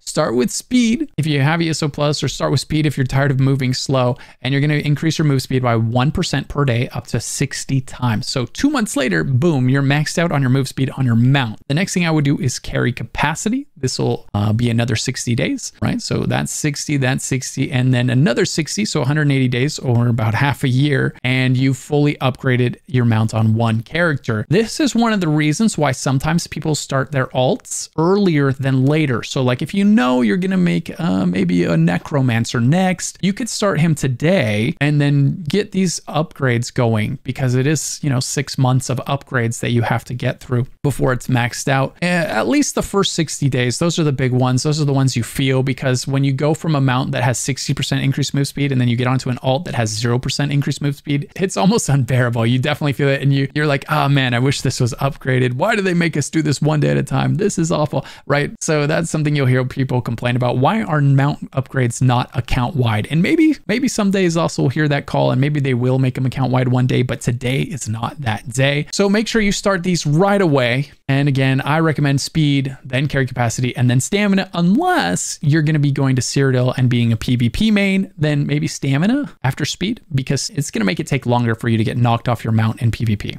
which is nice. You might be wondering how you get them out. Well, at level 10, it's a level up reward. So boom, you'll hit level 10 and then all you have to do is hit H on PC or whatever the mount button is on console and your mount will summon underneath you. You may have to slot the mount once you get it. It might not automatically be there. It'll most likely be there. Uh, on PC, it's going to be H. Um, but if for some reason you hit 10 and the mount doesn't spawn when you press the mount button, just open your collections menu, go to your mounts, and then choose. You'll only have one. It'll be the sorrel horse, and you just double click that and it'll equip it as your default mount. If you have other mounts, you can choose other mounts in here as well. This is all in your collections menu, which is right here, this little collections icon, and then collectibles, and then You've got all the things you have collected, including mounts in here, and just choose the one you want to use. Like I said, you'll start with the sorrel horse, this bad boy right here, right? He looks like this. Not quite as snazzy as the other horse I was riding, but hey, you know, he gets the job done. There's no difference in performance from one mount to the other. Mount skins are purely cosmetic. So whether your horse looks like, uh, you know, some super epic superhero, whether he looks like this not so fancy horse right here, they move at the same speed. They perform the exact same. It's just a skin. It doesn't change the way they act at all. So don't feel like you have to seek out a better mount. It's purely cosmetic. Okay, next up, let's talk about the banker. You're going to see this symbol. It's a little chest on the map. This is the bank. The bank is great for a couple of reasons. One is it's got a ton of extra storage for you. 240 slots of extra storage if you don't have ESO Plus or 480 extra slots if you do have ESO Plus, right? It doubles it if you have ESO Plus. This is where you can store all of the things that you want to hold on to to get them out of your character's inventory. Your bank is account wide, so you can put an item in here on one character and then pull it out on another character. A lot of items in ESO will be account bound. Almost no items will be character bound. So usually if you get an item, you can pass it between all of your characters once you've equipped it and once you've been using it, but you can't sell it to anybody else, right? So you can put it in your bank. Any of your characters can use it. Um, almost nothing in ESO is character bound. So there's almost nothing. I think the only things in ESO that are character bound are level up rewards so that you can't level up lots of toons and abuse that by passing the level up rewards all to one character. So level up rewards are the only thing that I can think of off the top of my head that are character bound. Everything else is account bound when it's bound to you, which means you can use your bank to pass it between them freely. The other important thing that the bank gets used for, and when we talk to him, is you'll see here, you've got bank, you've got guild bank, and you've got guild store, right? So your guild bank, if you're in a guild, you might have a guild bank, and then there might be items in here that you're allowed to take or you're not. That's it varies depending on the guild and how they set up their guild bank and the permissions in that guild bank. Generally, if you're in a guild, make sure you check with the guild leader before you start pulling stuff out of here. Just see what the rules are. They might say, hey, it's one item a week, one item a day, or no items at all. You know, just check with them. Make sure you're not ruffling any feathers. So that's your bank and then your guild bank. And that leads us to the next topic I'll cover, the guild trader and the guild store. So ESO does not have an auction house. ESO has uh, 200 to 300 mini auction houses that players have to bid on. So there's guild traders located all around the world. Here, I'll run out to a group of them really quick for you. Right here on the map, you can see this symbol. It's a balance right? It's like a balance. You've got the scales there, um, like the scales of justice, right? And then you've got a banner behind that, right? That banner indicates that it is guild traders. If you see the balance, you see that scale uh, without the the tabard or without that banner behind it, like this one right here. These are just NPC traders, like general merchant. It's you know he's selling you uh, really super basic items. It is not stuff that is being sold to you by other players or by trading guilds. The tabard means that is the stuff being sold by trading guilds. All right, so when you come up to the guild trader, you're going to see that nothing is there, right? And uh, that's not because they're not selling anything. It's because you haven't searched for something yet. They're actually selling hundreds or even thousands of different items on this one trader. So if you hit start search, it's just going to show you literally everything that's for sale, which is not useful in any way, shape, or form. I promise you. It's going to show you a bunch of junk. What you want to do is click on this box up here. So for instance, if you came here because your build recommended lava foot soup, it's a very popular stamina food, lava, foot, Okay, so we have the recipe and the food itself. You don't want to buy the recipe, especially as a new player. The food itself is very cheap. So we're gonna we're gonna click on that so that it puts it in quotes, right? That means it is typed right. You don't have any typos. Because what are the odds you're gonna type lava foot soup dash and dash salt? Right? Who's gonna type it like that? Who's gonna remember all that, right? So just start typing it and then use the autofill to click, and that way you know Boom, there it is. These are being sold at 250 a pop, right? And my add-ons telling me that they generally go for 187 to 233. There's great, like I mentioned, there's some really good add-ons for this game. Some of the best add-ons are the ones that help you with guild traders and knowing if you're being ripped off or not. I have these all in my written guide for my add-ons. Make sure you check that out. It's in the description down below. If you're on PC, make sure to use the add-ons I recommend. They're going to save you a ton of heartache and a ton of money in the long run, I promise you. And a ton of time. If you're on console, you know, good luck because you don't have add-ons. That's how you use the guild trader. That's where you find the guild traders at the scale on top of the tabard, not the scale without the tabard. Those are just general NPC merchants they're selling. Uh, sometimes it's, you know, furnishing, sometimes it's really basic recipes, you know, random stuff like that. Okay, so that's how you buy from guild traders. How about how do you sell on a guild trader? Well, that's a great question. You're to come over here to the bank. Remember how I said you had to join a trading guild that had a guild trader? So first you would do that. You would go to the guild list. You would click, you know, uh, guild finder then you would browse guilds, click trading, has trader, and um, you would have to find a guild that actually has one of those trading spots. That guild, that little NPC I was just talking about, there was a guild out there that bid millions of gold to have that NPC for one week. And they have to rebid every single week. This is ESO's gold sink, if you will. And there's hundreds of those NPCs located in the game. Every single zone has a batch of guild traders in it right? And so there's tons of them out there. It's a fragmented auction house, basically. Uh, it is my least favorite part of Elder Scrolls Online. I, I, would much rather have one centralized auction house. I go, I talk to one NPC, I search for the item, it shows up, I buy it, I'm done. Uh, rather than going to an NPC, searching and being like, I don't know if this is a good price, then checking the next one, check the next one, right? Because you have to check multiple ones to make sure you're not getting ripped off. But you know, it is what it is. That's the that's the guild trading system that's in here. That's the auction house system that exists. Um, ESO is a great game, but no game's perfect. And so I would say this is probably my least favorite part of ESO. Uh, but anyway, I digress. We get back to it. So how do you sell on a guild trader? So if you're in a trading guild that has a guild trader, uh, what you're going to do is come to the bank.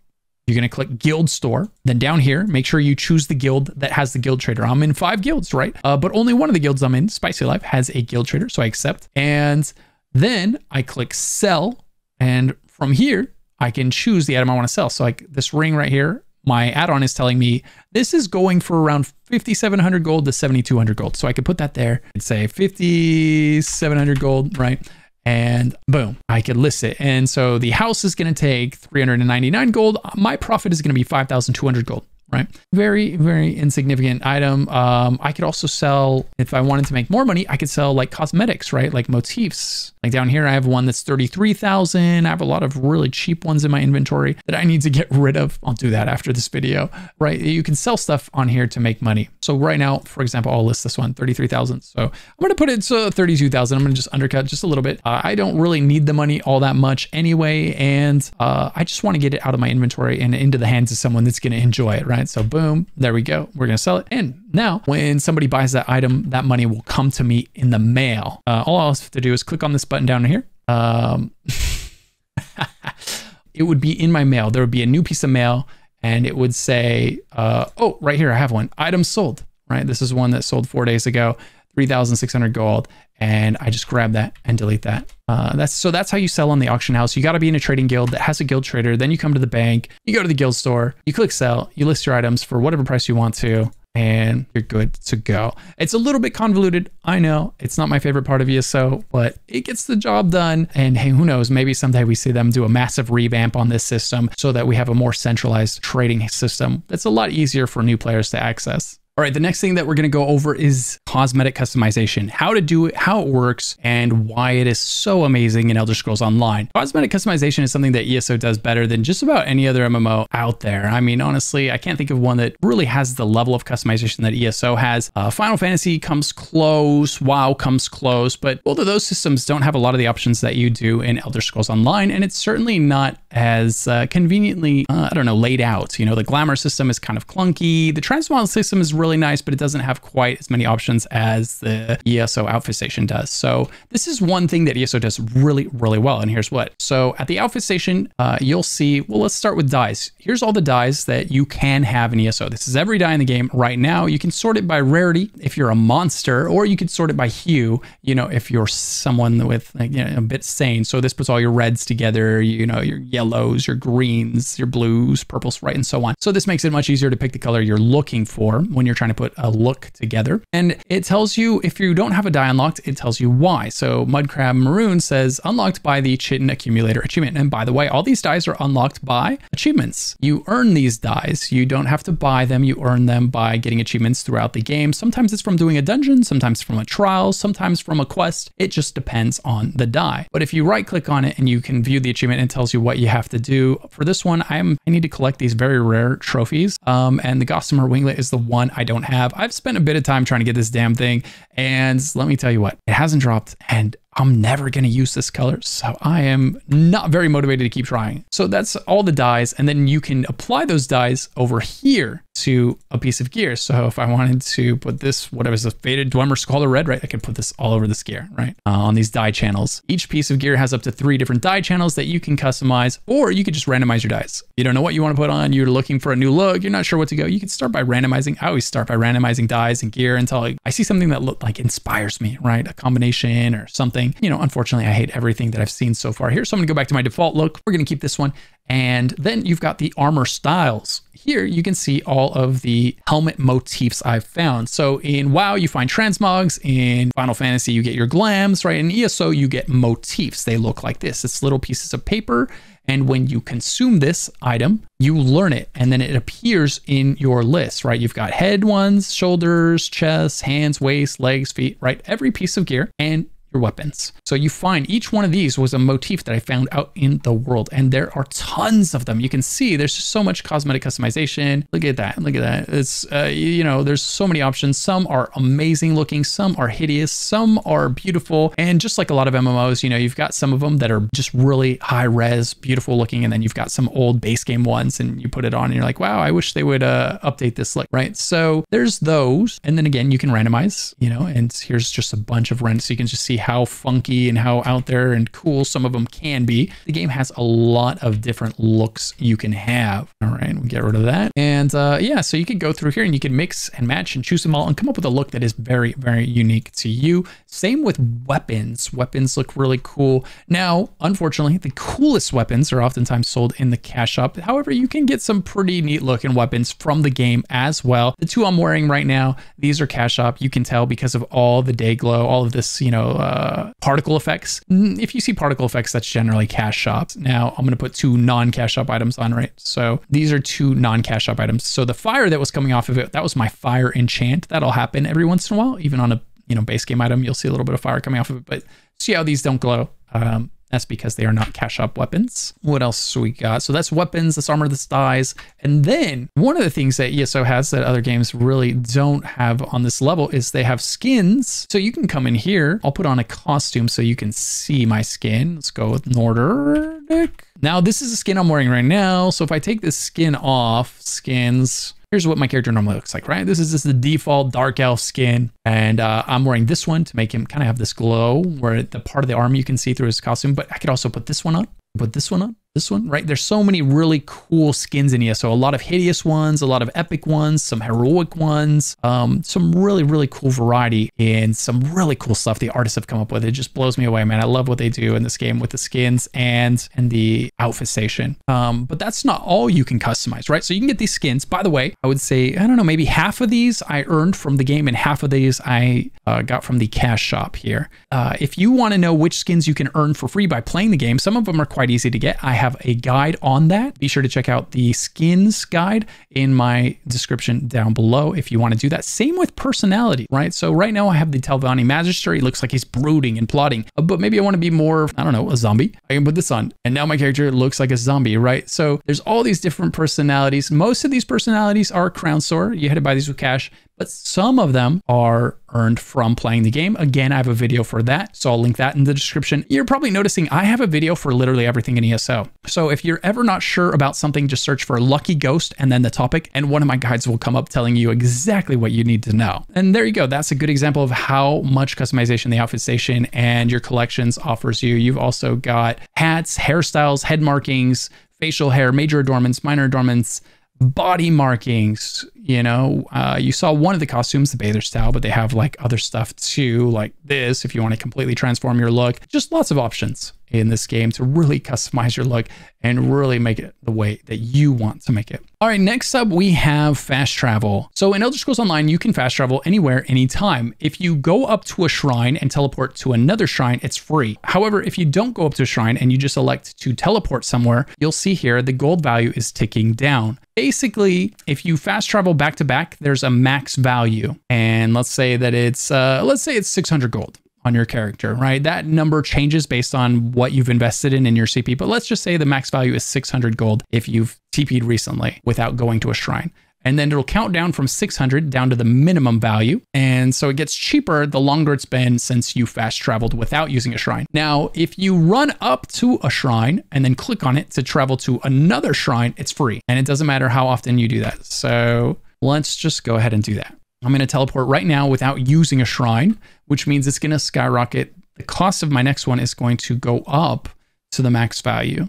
So if I were to teleport now, instead of being 100 and change, it's 590 gold, right? And it's starting to count down. It's getting cheaper the longer it's been for my last teleport. Now, if I, and rather than opening my map and clicking on a shrine to teleport somewhere, if I just go up to a shrine and I interact with it, I can teleport. See, there's no cost associated, so I can teleport for free. So as long as you go to the shrines and teleport, it's free. This is something a lot of new players miss. They don't realize that teleporting isn't um, it doesn't cost anything. It can be free if you want it to. If you want to save a few seconds though and just teleport from where you're standing rather than run back to a shrine, like maybe you're deep in a delve, well, you know, just teleport for free. Also, a little trick of the trade is you can open up your friends list and you can right click and you can travel to them and it'll take you to the nearest shrine to that person, which is always free. It's always free to travel to a friend. It's always free to travel to a guild. So I could open up this and I can travel to any member of my guild for free. Uh, so if you want to if you want to get out of where you're at and you want to get to a shrine, it'll boom, then that'll drop you right next to a shrine when you land and then you can use that shrine to teleport wherever you want for free again. Just, you know, it's a little bit of a double jump, but it saves you gold if um, maybe you're a new player and you don't have a lot of gold to spend on traveling like that. All right, the next thing that we're going to talk about is group content. Elder Scrolls Online has a few different types of group content. It's got dungeons, it's got arenas, and it's got trials. Trials are Elder Scrolls version of raid. So there's three different uh, difficulties for each type of content. There is normal, then there is veteran, and then sometimes there's even a hard mode difficulty. So if we open up our party finder here, so if you're on PC, you just go to P on your keyboard, or you press this button right here if you're on console, right? And it opens up this menu. And then for dungeons, you just click dungeon finder, random normal dungeon, and join the queue. And that'll automatically join you with other players. Make sure to choose your role first, right? You have to choose whether you're a tank, a healer, or DPS. Uh, I encourage you to pick a damage dealer if you're a damage dealer. And if you're not a tank, don't play as a tank. Uh, people really frown upon that. You will get some very nasty comments from players a lot of times. Um, but if you are going to tank, just make sure, you know, at least have a taunt. You know, if you're a decent player, you can get by as a tank. As long as you have a taunt and you're keeping the boss still so that the group can kill it, really, um, you're doing a pretty good job as a tank you know, assuming you're not just dying, uh, that's that's going to be solid, right? But if you're queuing as a DPS, that's the longest queue. If you're queuing as a tank, that's the shortest queue. And if you're queuing as a healer, it's almost as short as the tank, but not quite, right? So just be aware DPS has the longest queue. Might take uh, might take 10 minutes, it might take 45 minutes. You just never know. You could alternatively queue for a specific dungeon, like following one of my guides and it says, hey, you need this set and it drops in this dungeon. Well, then you can come into here, you can choose specific dungeon, queue up for that dungeon. Like if you want a monster set, well, you wait wait till you get to 160, which, well, you should start doing your random normals like as soon as you hit level 10, because at level 10, the only dungeon you're going to be able to do is the really easy ones here. Fungal, uh, Grotto, Spindleclutch, right? Banished Cells. These are your level 10 dungeons. They're very easy. It's impossible to fail, really. And so I encourage you to jump into the dungeons sooner rather than waiting until you're really high level. And then you might get a DLC dungeon down here as your first dungeon. And they're a lot more difficult, a lot more mechanic heavy. But really, anything on normal is going to be, it's going to be a pushover. More than likely, there's going to be at least one person in your group that could have soloed the dungeon anyway. So your first time in there, it's okay if you're not great yet and nobody's going to care. Uh, they probably won't even notice, honestly.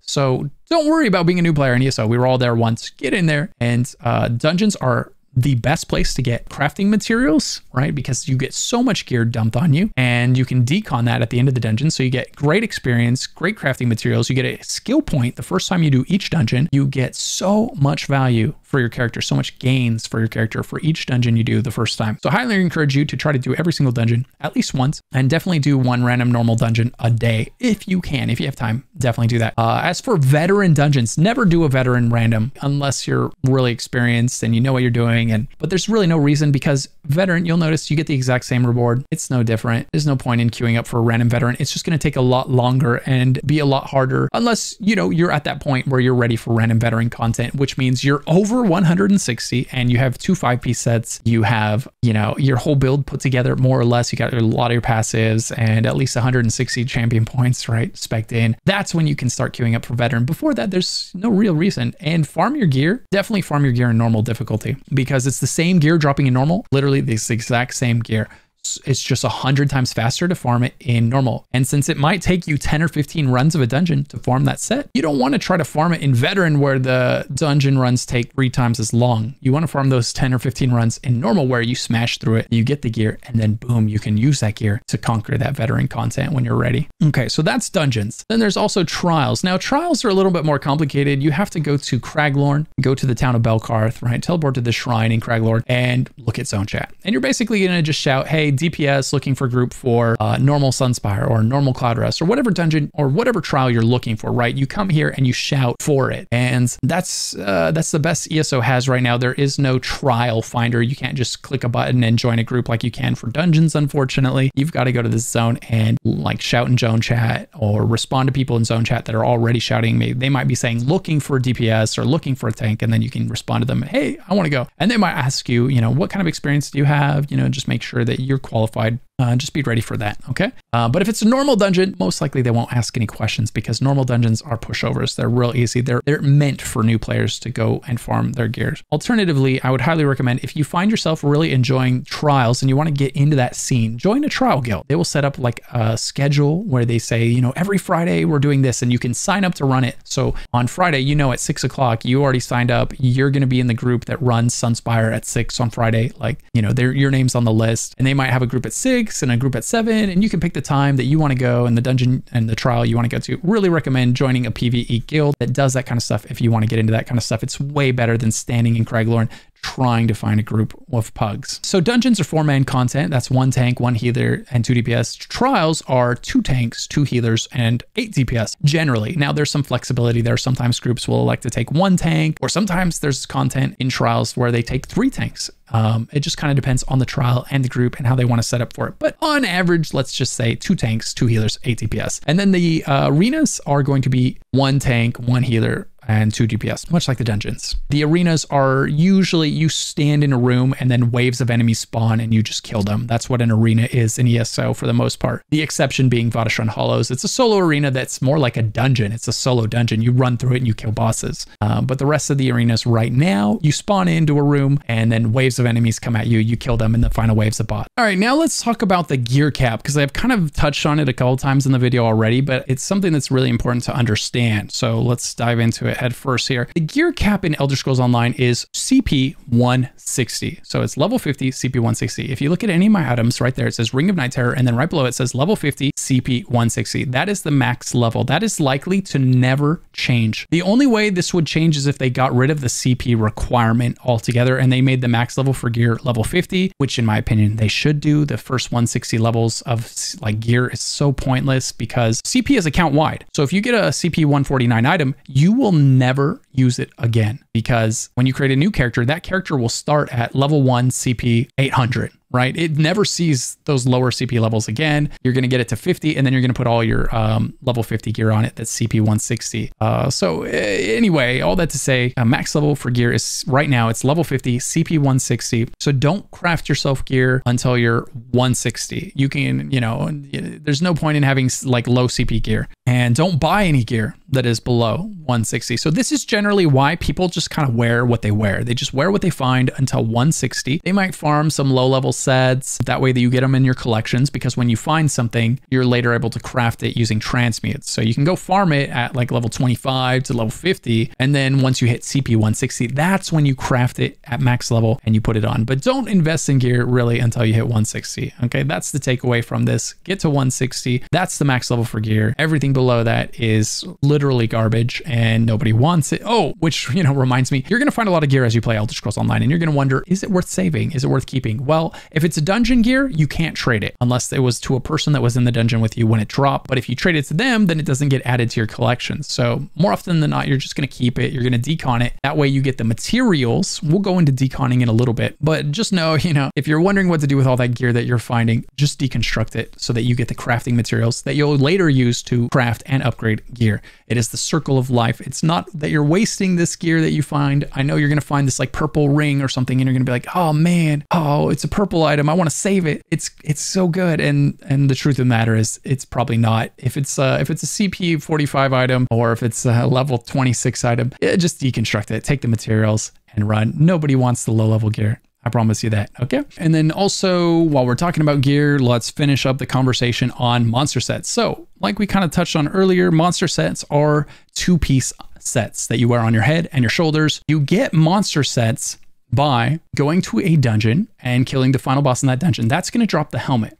The shoulder is going to drop from the Undaunted pledges. So you're going to do Undaunted pledges. Those are going to give you a currency called Undaunted keys. You're going to take those keys. You're going to go to the Undaunted Enclave, which is the symbol right here in every faction city. So for instance, in this case, Elden Root, right? And then you go to Elden Root, you go to the Undaunted Enclave. There's going to be NPCs there that sell, uh, there's three of them. Two of them are selling like all the base game shoulders, one's selling all the DLC shoulders. And you just gamble for them there. There's two different coffers, and you, you hope that you get the shoulder that you want in the weight that you want. It can be a little bit of an RNG nightmare sometimes, or sometimes you get lucky, you get what you want right off the bat. But yeah, so if I have a Slimecraw Visage, then I go to an NPC there and I use my keys to gamble for the Slimecraw shoulders. Once I have both pieces, then I get the two piece set bonus, which is usually a really, really powerful set bonus. That's the great thing about monster sets is the one piece bonus is usually really powerful. Not a lot of things have a one piece bonus. Really, it's just mythic items and monster helmets. So mythic items and monster sets have a one piece bonus. Mythic items have really powerful one piece bonuses because that's all they are is a one piece set. And then monster sets have uh, the next most powerful one piece bonus. And the good thing is you can wear two different monster sets. So you could get two different one piece bonus from monster sets, whereas mythic items, you can only wear one at a time. Monster sets come and go from the meta. Sometimes we're using two pieces of a monster set in our build. Sometimes we're only taking advantage of the one piece bonus. It kind of just depends on the patch. So, you know, refer to a written guide if you're curious about what the meta is right now. I've got tons of build guides Again, linked in the description if you're curious about those. Now let's talk about perfected gear. You'll notice that some gear says it's perfected. And earlier I said uh, dungeons drop the same gear in normal as they do in veteran, and that's true. Trials, however, drop perfected gear. So in a normal trial, it would drop Relequen Jack. And then in a veteran Cloudrest, it would drop Relequen's perfected Jack. And basically, these have a they have one extra stat line on them instead of having one five piece bonus. The perfected gear that drops from veteran trials has two five piece bonuses. Usually, the second one that you that, you know that comes from perfected is uh, it's a stat like 1,000 max stamina, like we have here. It's good for maybe a couple percent damage. You know, so instead of doing 100,000 damage, your character is now capable of 102,000 damage. It's a very small increase to your character's power, but it is an increase to your character's power. So generally, you're going to want to farm your trial gear on normal difficulty first. And then once you have that put together, then you can go ahead and start farming your perfected gear in veteran once you're ready for that. Veteran trials, especially veteran DLC trials, are the hardest content in the game. You know, that's very difficult, especially for new players. So don't expect to be jumping into veteran DLC trials until you're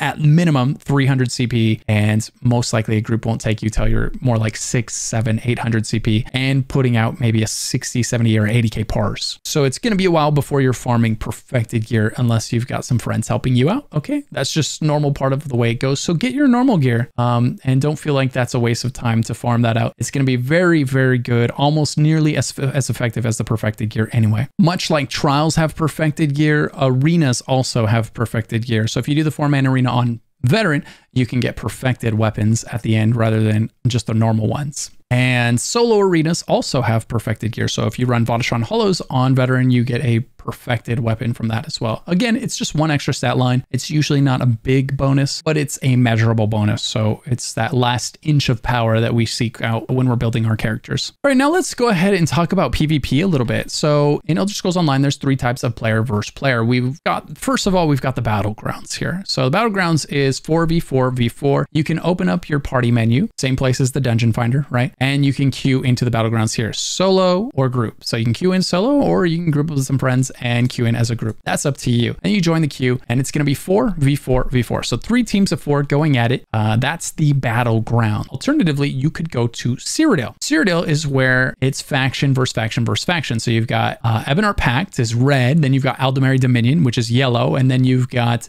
Daggerfall Covenant, which is blue. So these three factions are always fighting, you know, 24 7 in here, waging war on each other. And the goal of which is to capture these keeps here. These six keeps in the middle are what determine who the emperor is in Cyrodiil. It's the most coveted achievement in Cyrodiil, really, is getting to be emperor while you're there. So, in order to become the emperor in Cyrodiil, you have to have the most alliance points earned in that campaign in your faction, right? So if you're EP, you have to have the most alliance points in your entire faction. Uh, your faction has to capture all six of these middle keeps that go around this water here. Once you capture all six of those, boom, the game will automatically make the person with the most alliance points in that faction the emperor, right? Until another faction dethrones them by taking those six center keeps themselves. While you are the emperor, you have massive stat buffs. You're like basically a boss roaming around Cyrodiil, you know, taking down armies and almost by yourself at times. So it's a lot of fun to get if you ever happen to get that. It's pretty hard to get because there's a lot of people going for it at all times, but it's pretty cool. Um, that's Cyrodiil. And the way you get to Cyrodiil, unlike other places in the game, you can't just teleport into Cyrodiil. You have to queue into Cyrodiil. So you press L if you're on PC. It's the Alliance War,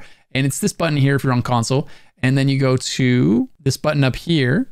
It says campaigns. Click that, and then you can choose a campaign to join in Cyrodiil. Grey Host is the Alliance locked one, which means you can only like if you join Grey Host on your EP toon, then none of your AD or DC toons can go into Grey Host. You can only go into this in one faction. So all of your EP toons would be able to go in there, your Ebonheart Pact toons, but none of your other toons that were any other faction could go. This, you know, this way you can't uh, play both sides in that one, right? Uh, the rest of them are not alliance locked. So any toon could go into any one of these if they wanted to. And you can see here how many people are in them. These ones are quite empty, right? Then you've got standard, which is pop locked for a couple of the factions, and like just alliance locked. This one's the most popular one. Usually, there's a lot of people in that one keeping it nice and full. Cyrodiil can be quite laggy, especially during prime time. So if you go there when nobody else is there, that's simultaneously the best and the worst experience. It's the best performing, um, but also it can be hard to find like good engaging battles. So uh, it's a bit of a mixed bag in Cyrodiil in terms of performance and experience. Uh, if you go there and it's just too laggy, that's when you would fall back to like or maybe even Imperial City. So Imperial City same thing. In order to get to Imperial City, you have to queue right. You open up the same menu, the Alliance War menu, and you come in here and you pick Imperial City. Now, Imperial City is usually pretty dead outside of a couple of events a year that push everybody in there. So if you go into Imperial City and you don't really run into a lot of people, don't be surprised. That's not terribly uncommon, unfortunately. Imperial City is a PvPvE zone. So you can go in there and you can farm Tel Var by killing NPCs, or you can go in there and you can farm Tel Var by killing people that were farming Tel Var, right? When you kill someone, you take half their Tel Var and vice versa. If they kill you, they take half of your Tel Var. So, you know, if you go in there, keep your head on a swivel, be careful, and just know that you can bank your Tel Var. So if you go in there and you get like 10,000 Tel Var, you can go back to your base, go to your bank in your base, and bank that Tel Var so that when you die, you don't lose it. If your Tel Var is in your bank, you don't lose it. If your Tel Var is on your person and you die, you'll lose half of it. So very important to know about Imperial City. A lot of people lose a lot of Tel Var the first time they're in there, not knowing that they could have banked it and kept it safe. If you're curious about how much Tel Var you have on you, you can always open up your inventory, go to currency, and you can see it right here, Tel Var stones. This character is carrying 4,500 on him. Uh, not a lot, but not a little, you know, so it's a decent amount. I might take that out with me and try to take advantage of a multiplier. You get more Tel Var per kill based on a multiplier. So the more you're carrying on you when you kill things, the more Tel Var you get for killing them. It's kind of a risk reward thing. Uh, but if you die, you lose 50% of it. So, you know, it's, it's, your, it's up to you how much of a risk you take and how much reward you try to go for out there. All right, next let's go over combat in Elder Scrolls Online. So, in combat in Elder Scrolls Online, you have three basic functions that you need to be taken care of. One is you've got a dodge roll that lets you avoid damage. Boom. So we dodge rolled that attack. Some attacks will be more forecast than others. Uh, there's usually going to be a red circle or a red cone or something like on the ground, like this one here, telling you, hey, that's bad, get out of it, and you can dodge out of it. You can also choose to block incoming attacks. This is going to cost stamina every time you block an attack. When you run out of stamina, well, one, you won't be able to dodge anymore, you won't be able to block anymore, and you won't be able to sprint, right? Stamina is used for all of those things, so it's very important that you don't run out of stamina if you can help it. You can get stamina back by using a stamina potion like this, boom, there it goes up, or by heavy attacking your enemy if you're using a melee weapon. If you're using a staff, when you heavy attack, you'll get magic back. So that's that's blocking. That's how that works. It's a game of resource management. Uh, some attacks you'll want to block, some you'll want to dodge roll. It kind of depends on the attack, and really you just learn by engaging with the mobs, and you'll start to see certain types of mobs. You have attacks you definitely want to dodge, and some uh, have attacks you want to block. Uh, then we also have dodge roll right? Which costs stamina. Now, the thing to know about uh, dodge roll that a lot of people don't notice is see these lines under my feet? If I dodge roll again while those lines are still there, the dodge roll costs infinitely more. Boom. See how it's chewing up my stamina? I dodge again. I'm out of stamina in like four dodge rolls. Uh, now, if I wait for those lines to be gone to dodge roll that were on my feet, and I dodge roll, look, it, it's like a tiny little chunk of my stamina, right? But if I dodge roll again, back to back, it starts to cost more each time. See how it's boom. That one was like half of my stand bar. So you don't want to dodge roll in quick succession. It gets uh, more expensive each time until it's just eating like huge chunks of your bar. So you want to dodge roll and then wait, right? See how I have a lot of iframes there? If even if you dodge roll a little early, when they when he throws his attack at you, you're still gonna like you get a, a second and a half of iframes basically. Okay, so watch. I'll dodge roll early like that. He did a step back there because we dodge. It's really forgiving. I'm intentionally trying to dodge early, um, and then you get your stamina back by heavy attacking. See, it starts going up like that. Or if you have a good build put together, if you're following one of my build guides, you will almost never need to heavy attack. That's really, if you're having to do a lot of heavy attacking on a build, it's generally a sign that the build um, is lacking in sustain somewhere, or possibly that you just don't have all of your passives and all of your champion points yet. But generally, once you get a build put together, uh, you shouldn't need to be doing a lot of heavy attacking. And that's basically how the combat in ESO works. You're going to be using light attacks to generate ultimate. You're going to be using dodge roll to avoid, you know, abilities.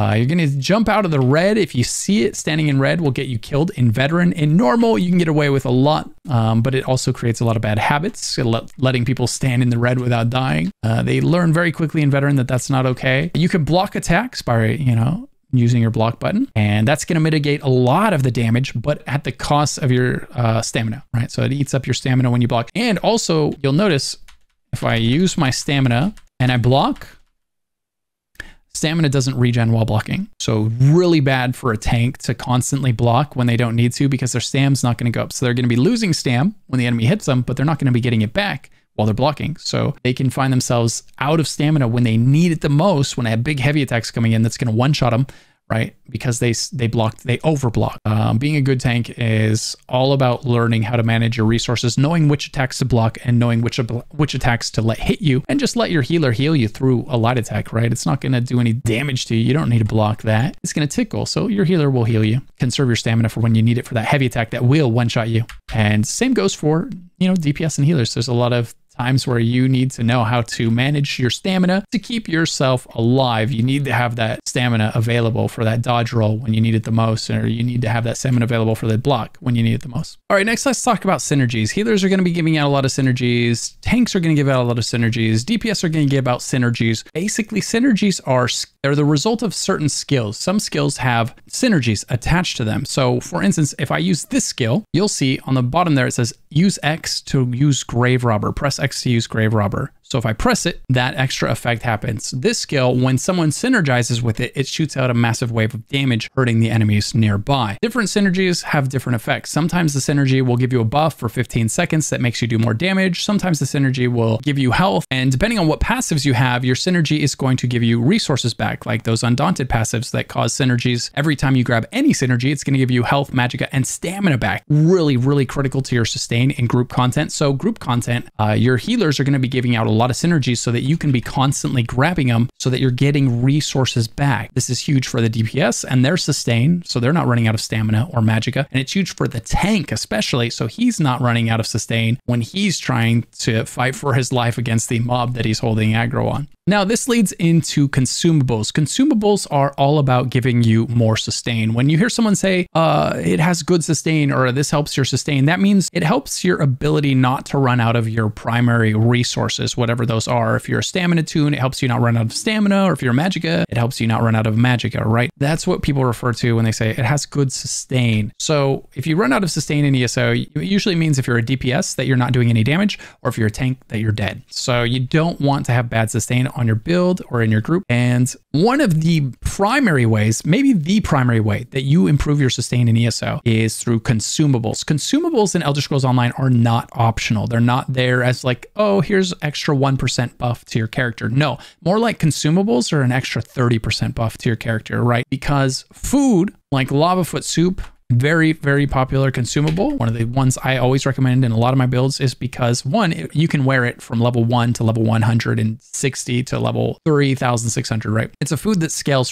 for you all the way from level 1 uh, a lot of foods have level requirements on them but not lava foot. And it happens to be amazing. It gives you a 5000 stamina or just about and almost 500 recovery. Uh, so that increased stamina and that increased stamina recovery means it's so much harder for you to run out of stamina while you're using this food Whereas without it, it's very, very easy. You will run out of sustain really fast in content if you're not running some kind of food that's helping your sustain, or if you're not in a group where healer or tank is helping with your sustain, right? So food is a big deal, both for your damage and for your sustain of your resource. Likewise, potions. Potions are another part of this game that new players overlook for far too long, usually. Uh, potions in Elder Scrolls Online are not optional. They are very, very important to your build and to your sustain.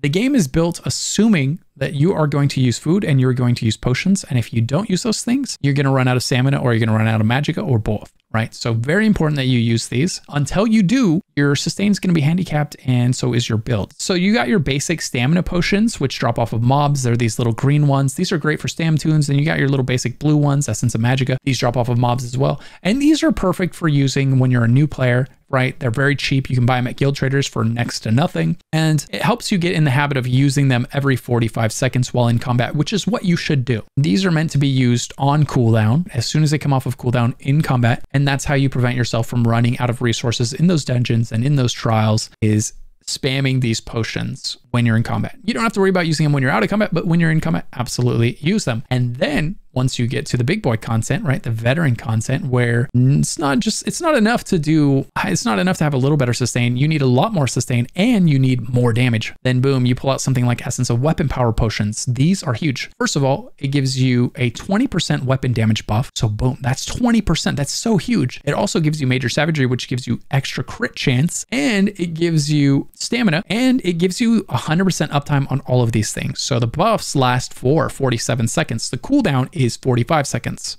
right? So you have 100% uptime on these buffs if you're using them properly. So potions and food and ESO, long story short, very important. Don't ignore them. Uh, as soon as you start doing group content, make sure that you are getting in the habit of using these things on cooldown. Now for questing and stuff like that, uh, the battles are dispersed enough where, you know, you'll probably be fine getting by without them. But once you get to group content, when you're constantly in action, constantly in battle, it's going to really help to get in the habit of using these potions. When it comes to food and potions, you can put them on your quickslot wheel, which is what I highly recommend that you do because you're going to be using them, like I said, constantly and you don't want to have to come in here, open three menus, dive into three different layers of those menus and then dig out and double click on it, right? So what you want to do is open your menu and then drag the potion on here and then boom.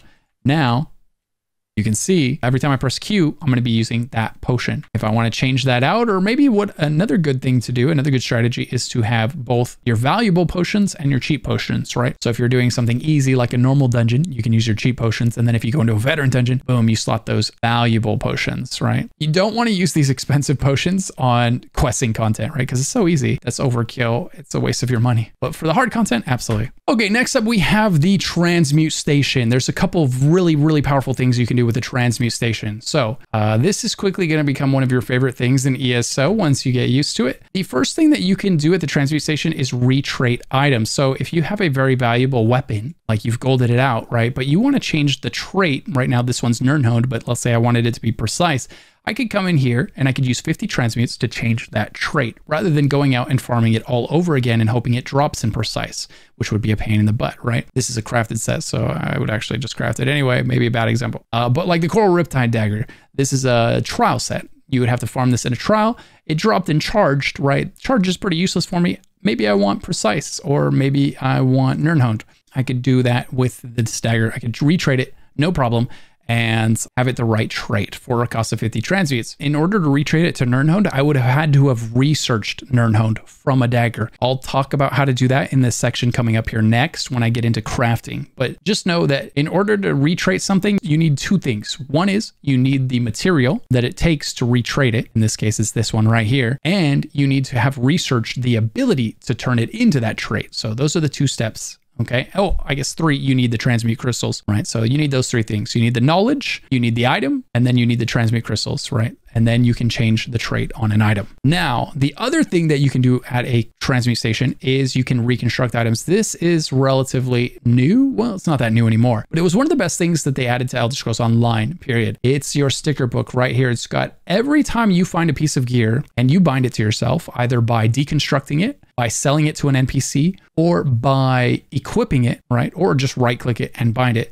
you can do all of those things. Anything you do to basically prevent another person from binding it to themselves. So anything you do to make it bound to your account or to prevent someone else from having it will bond, it'll put it in your sticker book essentially. That's the way to think about it. Once it's in here, that means you've collected it and you can recraft it anytime you want. So you can deconstruct it and then if you ever decide, "Oh man, I need that set again. It's good again." You know, they just buffed it. You can come in here and you can just click on the helmet. You can choose the quality, you can choose the trait and then you can just hit reconstruct and boom, you're crafting that item. The way this works works is if you have collected the entire set, right? If you've collected all of the weapons and all of the armor and all the jewelry, it only costs 25, right? So 25 transmutes. Or if you've only collected one piece of gear, like I have here, I have this perfected coral riptide ring. I've only collected one, so it costs 75. Here, I've collected the whole set, so it's 25, right? So it's a scale, it's a sliding scale. If you've collected two, it would be instead of 75, it would be, let's say, 70, right? And it would get cheaper to craft it the more pieces of it that you have found. So ideally, you'll wait until you've farmed a bunch of that set so that you're not burning through all of your transmutes to craft it. So wait until you farmed all the pieces you need and then maybe even a few more so you're getting closer to 25 per piece when it comes to crafting because it's going to cost you transmutes, right? And transmutes, to see how many you have, open your inventory, click on the currency tab right here and it says I have 642 out of a thousand. So you'll burn through them really fast once you start putting a build together, right? Because it's going to cost five pieces of gear. So that's five times 25 at the minimum. And then another five piece set. So that's another five times 25, right? And then uh, maybe a back bar weapon, maybe a mythic item, right? And you can see that 25 a piece starts add up really fast. And that's the cheapest they could be, right? You might be crafting it at 50 a piece because you didn't farm the whole set. So some incentive to farm everything and have them all ready to go. But yeah,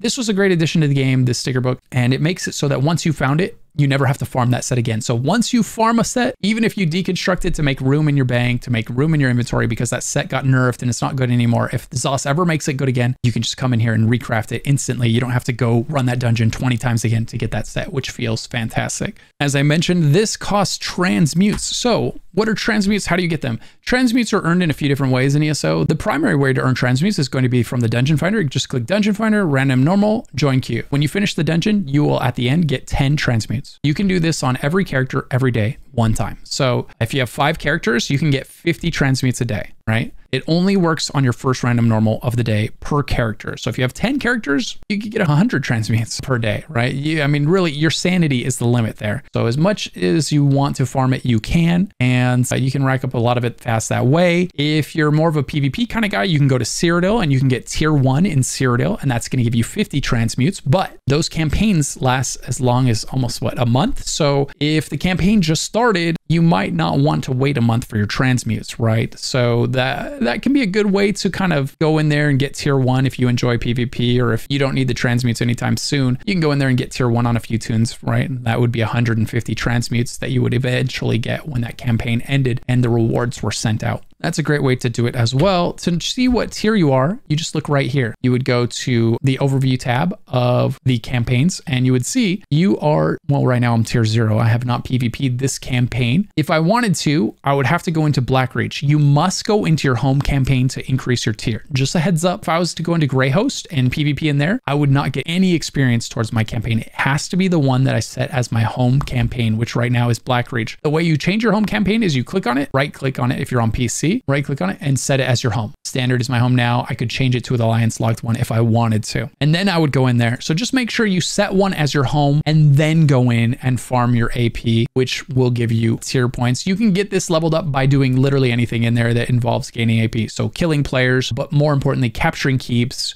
capturing resources. Those are going to be the things that really chunk this up uh, in significant amounts. And you can get it done as fast as 45 minutes, you know, 30 minutes if uh, things are going really, really in your favor. But you could also go in there for an hour and not getting any AP at all. You know, it's a crapshoot when you're in Cyrodiil. You never know what kind of a day it's going to be in there for you. All right. Now, like I mentioned, let's talk about those crafting stations. So crafting stations are pretty huge in ESO. You're going to use these for a lot of things and they can do a lot for you. Some obvious and some not so obvious. So let's take a look at, for example, here's the stations that you have. You have the blacksmithing station. This is where you craft metal gear, right? So your heavy armor or your melee weapons, that kind of thing. You've got the woodworking station. This is where you craft bows, shields, because in ESO shields are wood. It's sword and board, not sword and shield sword and board. So your shields are made out of wood in ESO. Just a little clarification. I know a lot of people go to the metal station, you know, myself included. I went there every time for a long time looking for my shield. And I, oh yeah, oh yeah, it's it's wood. The shield's made out of wood.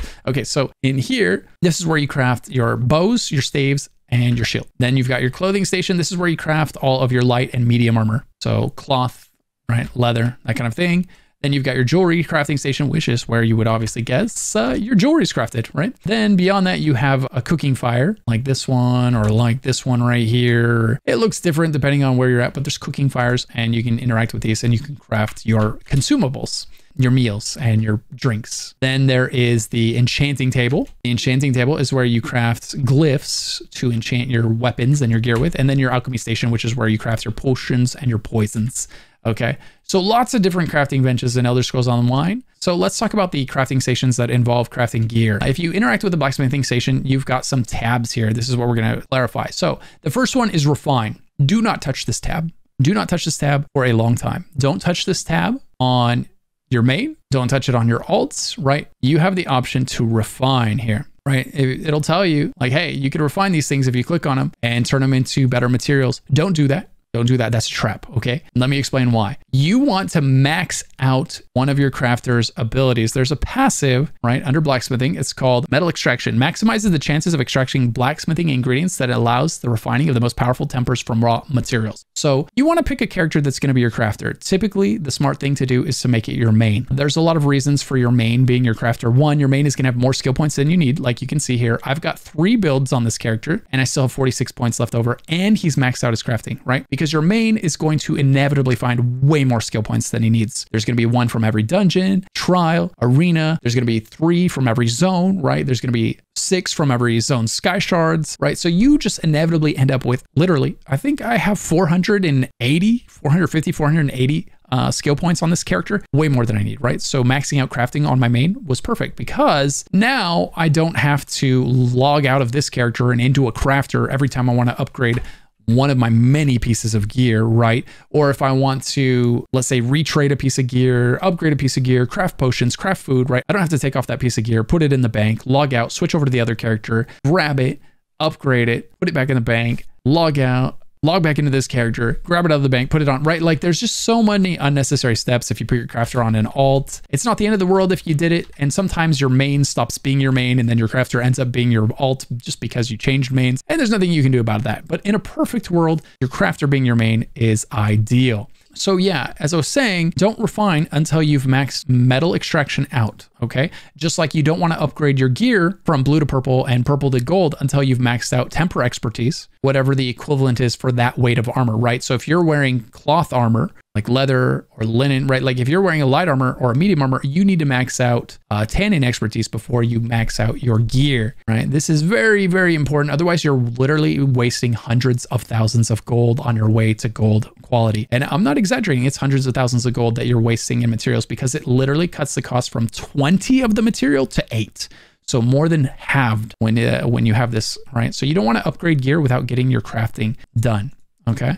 You can do like green to blue, and you might even be willing to do blue to purple, right? Because those ingredients aren't that expensive. Uh, jewelry is expensive. Don't waste these. Get this one done. Get your plating expertise, right? Get that one done early do not upgrade jewelry without that. It's uh, very expensive. Okay. So um, this is all kind of, man, this has been a tangent. I was trying to talk about crafting and I started giving out uh, really important advice about crafting instead. But make sure, just the, the moral of the story though is I know this is a lot of information. The moral of the story is don't start refining until you've maxed out your passives that improve the materials you get from refining. Because again, you're going to be throwing away hundreds of thousands or even millions of gold if you do this. So don't touch this tab until you maxed out that passive. And then also there's a CP one and it is called meticulous disassembly. So make sure you have this maxed out and slotted. Make sure you have the corresponding extraction passives maxed out. And then, and only then, you can start refining your different benches. Each bench has a refining of the materials for that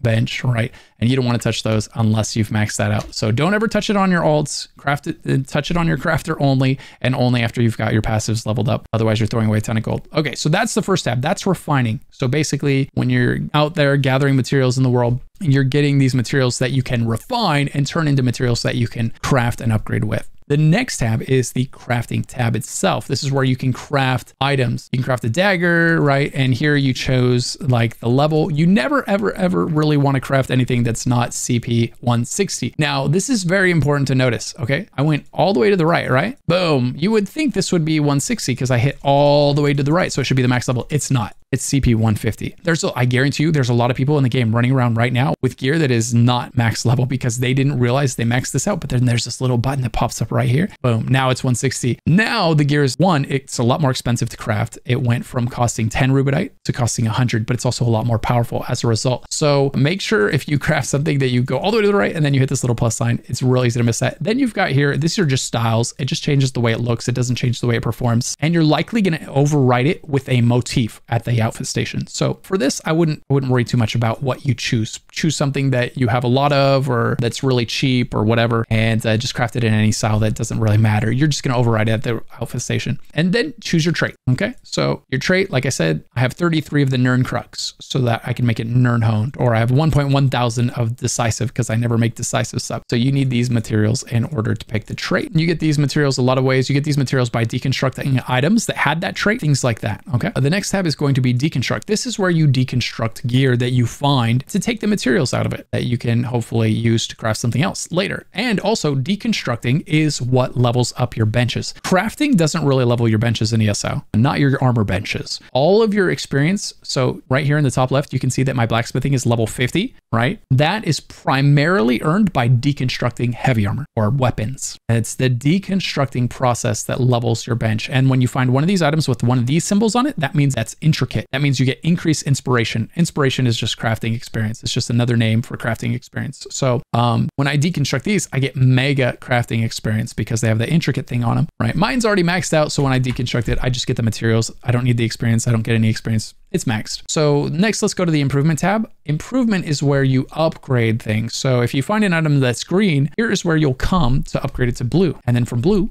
to purple and from purple to gold. If I click on this Coral Riptide Dagger, for instance, boom, it shows up here as purple. So I can upgrade it to purple. It's going to cost me four of my grain solvent.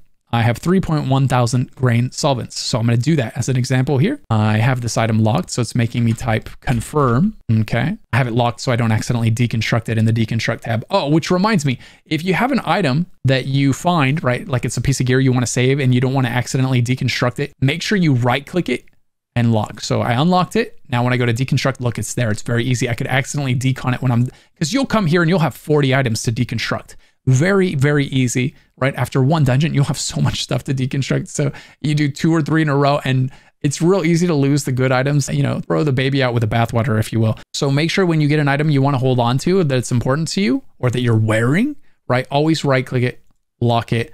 That way it doesn't show up here anymore. And then you can still upgrade it, but it's going to say, okay, make sure you want to make this change to this item. It's a locked item. So confirm, you just type that in and then you can do it. So here you can see this cost eight, eight of my tempering alloy to make this item. Tempering alloy is one of the cheapest materials for going to gold. Let's see how much that costs. Tempering alloy. Okay. These are selling for 16 to 20,000 a piece. I'm using eight of those instead of 20, right? So I'm saving 12 times 16 to 20,000. Massive savings by upgrading my crafting passives before upgrading the item. Okay. That's nothing though. Look at this. What about jewelry? Let's look at chromium plating. This is selling for 301 to 376,000, an average of 345,000. Okay. So if I was to improve that item, it's it's either 8 or 10 to upgrade it if you don't have that passive, right? We're saving 4 times 345,000 on the low end. 1.3 million gold being saved per piece of jewelry if we upgrade the passives before we upgrade the item right? That's just one piece of jewelry. We're wearing three and we're changing them like every other patch, right? So one, uh, this is why we almost never take our jewelry to gold. First of all, I don't recommend it. I'm running purple jewelry right now and uh, it's fine. You know, I can do every bit of content in the game with purple jewelry. I have done every bit of content in the game with purple jewelry. It is not necessary to upgrade your jewelry to gold in ESO. It's really not, it's not worth it. You're, you get some decent damage gains, like let's say a few percent, but it's going to cost you millions, right? And it might only be relevant set for three months. And then, you know, three months later, you're having to do it all over again. So upgrade your jewelry last, upgrade your weapons first, upgrade your monster set second, your body armor third, and your jewelry less. Okay, jewelry less. Okay, so that's the, let's see, so that's improvement, and that's how you improve and how you get the materials to improve, right? From deconstructing things. And then you've got research. So research is if I had an item on me, so let's see. Oh, I can't research anything on this character because I have it all. Okay, so if I had found an item that I didn't already have researched, I would be able to come in here, right? And click on that item and I would research the trade off of that item. But because this character has already researched every trait on every piece of gear, I can't really show that to you, but just know you click on this tab. So for example, if your build calls for a Nirnhoned weapon, you would come in here, you would go to the weapons, you would go to the dagger, right? And you would get a Nirnhoned dagger, you would have it in your inventory, you would come here and you would click research. And then that would allow you to research the Nirnhoned trait off of that dagger that you probably just purchased off a guild trader. That's the easiest way to get Nirnhoned. Every other trait you can get real easily just by, you know, you'll go through dungeons and inevitably you'll pick up an item, you'll drop, you know, it'll drop powered. So you research powered on day one. And then on day two, you run a dungeon and it drops charged. So you research charged, right? Nirnhoned is the one that's like super rare. Uh, it's, it's hard to get. It only comes out of certain places like trials and stuff like that. So um, this one, the easiest thing to do is just go to a guild trader search for a low level white dagger with Nirnhoned on it. You buy it for like uh, 18K, 20K. I'm not sure what the price is these days. And then you just go back to your station, you research it, boom. You It's a one time cost. Now you have that trait, you can reconstruct, craft it forever. And just to go over those crafting passives one more time for you because they are so important and I know it's confusing. So the crafting passives you want to pay attention to are the ones that are called extraction. Well, it's basically the bottom one and then the the one like two up from the bottom on every one if that's easier to remember. So you've got tempering expertise, metal extraction. Then you've got tanning expertise and unraveling, right? Then you've got jewelry, you've got plating expertise and jewelry extraction. And then woodworking expertise, extraction, right? It's almost always expertise and extraction. You want those two before you start getting into crafting and refining. Just know that. All right, you want to get those done. The other thing that you want to have before you start getting into crafting is uh, anytime you're going to uh, refine or deconstruct, it's beneficial to have meticulous disassembly uh, slotted. up here in your green nodes. This is one I would honestly recommend any new player and even veteran player. You have this one slotted all the time. There's just so much money all of these are kind of RP passives. This one is making you and saving you a ton of money just by having it slotted. So uh, it's one of those things that's just better to have slotted all the time because if you forget to slot it before you do a big crafting session or big refining session or something, you're losing a lot of money as a result. And by having that CP node and um, this one slotted, you double your take. You're getting twice as many gold materials as you would by not having those slotted. Okay, so it literally it's a 100% increase in your return by having that passive and that CP node slotted. Very important. Can't emphasize it enough. All right, next up, let's talk about leveling in Elder Scrolls Online. How do you level in ESO? Well, that's a complicated answer and a not complicated answer at the same time because Elder Scrolls Online is very much a not holding your hand type of game. It lets you go and do whatever you enjoy doing. Now, there's certainly some things that are going to be much faster than others. There's certainly some things that are going to be much more profitable than others. There is no right or wrong way to level. Really, I highly encourage you to do the thing that's enjoyable to you, and the levels will naturally come. I will say that questing is the slowest way to level and uh, grinding out XP in certain places in the game is the fastest way to level. Just going there and killing mobs over and over and resetting the instance and rinsing and repeating. I will link a power leveling guide in the description for you. That's going to go over all of the best and fastest ways to level. If you want to like skip the actual experience and you just want to get to the max level as soon as possible, you can do that. I don't recommend it. I don't think that's the best way to enjoy Elder Scrolls Online, but I know some of you don't care what I think is the best way to enjoy it. You just want to get to max level. And so don't worry, I've got you covered. I've got a guide for that, of course. But for those of you that want to level a little bit more naturally, what I would recommend doing is, you know, questing in your favorite area, doing at least one random normal dungeon a day. That's going to give you 100,000 experience. This would take you from 10 to 13. That's three levels from one dungeon, right? It would also take you from 20 to 22, right? It's two levels. Uh, the higher you get, the like the fewer levels that you get from doing a dungeon, right? But you're still going to get a substantial amount of experience. And then like later on, it's still giving you a full level just from doing one dungeon. That's pretty huge. And it's a great way to expedite your leveling. Just make sure you get your one random dungeon a day, if nothing else. And even if you're just questing, that's going to help get you to max level at a decent clip. You can also double dip on this XP by doing a random battleground. This gives you the same exact XP reward and you can do it once a day as well. Now, battlegrounds will, well, your first time you're going to get curb stomped pretty bad. People are to come in and probably wreck your face unless you happen to get lucky enough to get paired up against other people doing their first battlegrounds, which you know, that sometimes happens, but pretty rarely. So, you know, if you go in there and you take a lashing, you take a pretty good beating, don't feel bad. That happens everybody the first time they go in there. Okay. But if your team gets second place or better, so first or second place out of the three teams in there, you get this experience. If your team gets third, you don't get the XP. You got to queue up again and do it until your team gets second or better. Okay. Just something to know about that reward. Just queuing up isn't enough. Your team has to get second or first.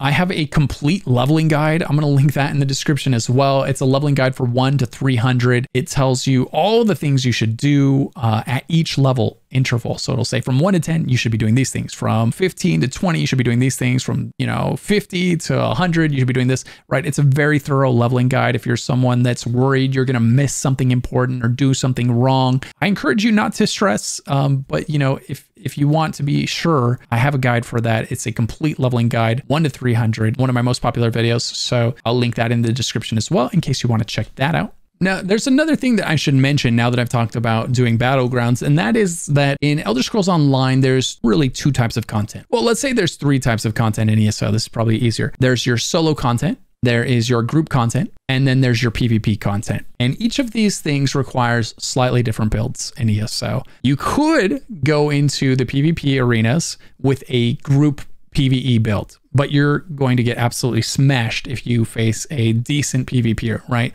Because he's going to be wearing PvP gear. PvP gear does really well in PvP content, but it does horribly in PvE content. And PvE gear does really good in PvE and it does horribly in PvP, right? So you can't use one build for everything in ESO. It just doesn't work that way. And the same thing, like if you take a group build into solo content, like a veteran solo arena, you know, you might not have the heals or the sustain, most likely, to really do very well in that content. So, you know, picking the right build for the type of content that you want to engage in is very important. I have a website that has solo builds and it has group builds and it even has some PvP builds if you're interested in that. So, as always, I'll put a link to that down in the description below. Uh, just make sure that you kind of know what you want to do in ESO and just know that that build's going to have some limitations There's no such thing as a build that is really good at solo content, really good at group PvE content, and really good at PvP content. That just doesn't exist. Uh, you could do a PvE build and a PvP build, and I highly recommend that you, if you do that, you take advantage of the armory here. The armory is something that was recently added to ESO, and it's something that lets you switch between builds just like we're describing right now. So the armory lets you have, let's say, a Stamcro PvE build, right? and then a PvP build. You get to pick what it's called, the symbols are, right? You can edit it. So um, the way this works is you put your build together, you put it on your character, then you come here and then you click save build. And whatever you're wearing, it's going to put your gear, your food, your potions, it's going to put your mundus, uh, your curse, whether you're werewolf, vampire, or neither. It's going to put your outfit, right? It's going to put your attributes, your slottables, your, your skills, your morphs, right? It's going to save the entire build right? All 64 of my stamina, right? And that way, this is my PvE build. So when I'm going to PvE, I click one button and boom, I'm ready to go for PvE. Okay. And then what if I want to do some PvP? And I was telling you, eh, this PvE build is going to crush in PvE content, but it's going to suck real horribly in PvP content. Let's be real. So then I come here before I go PvP and I click equip build. I load out my PvP build, right? And this is going to allow me to crush faces in PvP. So it's saved. You'll notice there's so many differences here, right? My PvP build is nothing like my PvE build. It's got way more defense. I've got points into health, something I would never do as a DPS in PvE content. It's got a bit of stamina, right? Some a healing ultimate on the back bar. I mean, this you would never put this in PvE, but in PvP, you're forced to be your own tank, your own healer, and your own DPS all in one package. So it's uh, a little bit of everything on one build. And that's what the Armory Station is for. It's for making those big changes. When you're going to change your build in a way that requires you, you would have to respec multiple times, right? I would have to respec my CP, I would have to respec my attributes, I would have to respec my morphs and my skills, and I would have to change gear, I would have to change my mundus, uh, my curse, right? All of this, it would be such a pain to change all of this. But now now it's one click because of the Armory Station. Great addition to the game. One caveat though, ZOS did over monetize this thing a little bit. So they give you two loadouts that you can use right here. You got one and two for free. You get these two for free. And then you could pay for additional slots right? For 1500 crowns. Not terribly cheap date. Okay. The thing about this is this is per character. So if you have 18 characters, just know that if you pay for this armory slot upgrade, it's only applying to the character you buy it on. So make sure one, you buy it on the right character and make sure two, that you know that the other 17 characters you have, you're going to have to buy that third slot one at a time on those characters if you're interested in engaging with that. Which is where if you're on PC, you know, you can use an add-on like Wizard's Wardrobe. This is a free add-on that you can download and it basically does the same thing as the armory, but without charging you. And you can have infinite loadouts and not pay a dime. This existed before the armory, but ZOS added this so that console had this, and then ZOS charged console for the extra slots. See, I can make infinite. so you know, just uh, I love I love ESO, and I love a lot of things that ZOS has done with ESO, but I also hate the way that ZOS over monetizes and abuses console sometimes. You know, I just. Uh, I'm going to keep this video positive, but that's just one of my little grievances there. So now there is one difference though between Wizard's Wardrobe and the Armory. The Armory is going to change things that Wizard's Wardrobe won't. So the Armory is going to change your attributes. Wizard's Wardrobe cannot, right? You got to go to Shrine for that. And it's also going to change your curse and your mundus, right? These things. So those, it's there's a little bit of extra convenience because this armory is able to do some stuff that your add-on isn't, all right? But like if you're just changing from one PvE build to another PvE build, this is the way to go. Use your wizard's wardrobe for that. You can go from like an AoE build to a single target build to a solo build, right? All of that because it's most, it's really just all going to be using the same curse or lack of. It's going to be using the same attributes. It's going to be using, you know, probably the same mundus for most of that. So you don't need the armory slots is, is basically what I'm getting at. There's a way around spending all that money one character at a time. Next, I'm going to briefly go over what parsing is. You're going to hear people talk about parsing in ESO a lot. Parsing is how we determine how good our build is, how much damage we're doing with our build, right? So a lot of times you'll find a build that's posted on the internet by a very reliable source and, and you'll go try it out and it'll feel weak and you're not sure why or what's happening. Uh, and so it's likely going to be because you haven't parsed on it yet. You haven't practiced your rotation. You have not sat there and beat on one of these dummies like this guy right here or This one right here is the most common because it's been in the game the longest. So most most people will have one of these in their house. So you have to buy one of these from the Crown Store. They are not free. And if you buy one or someone in your guild buys one, then you can come and parse on it.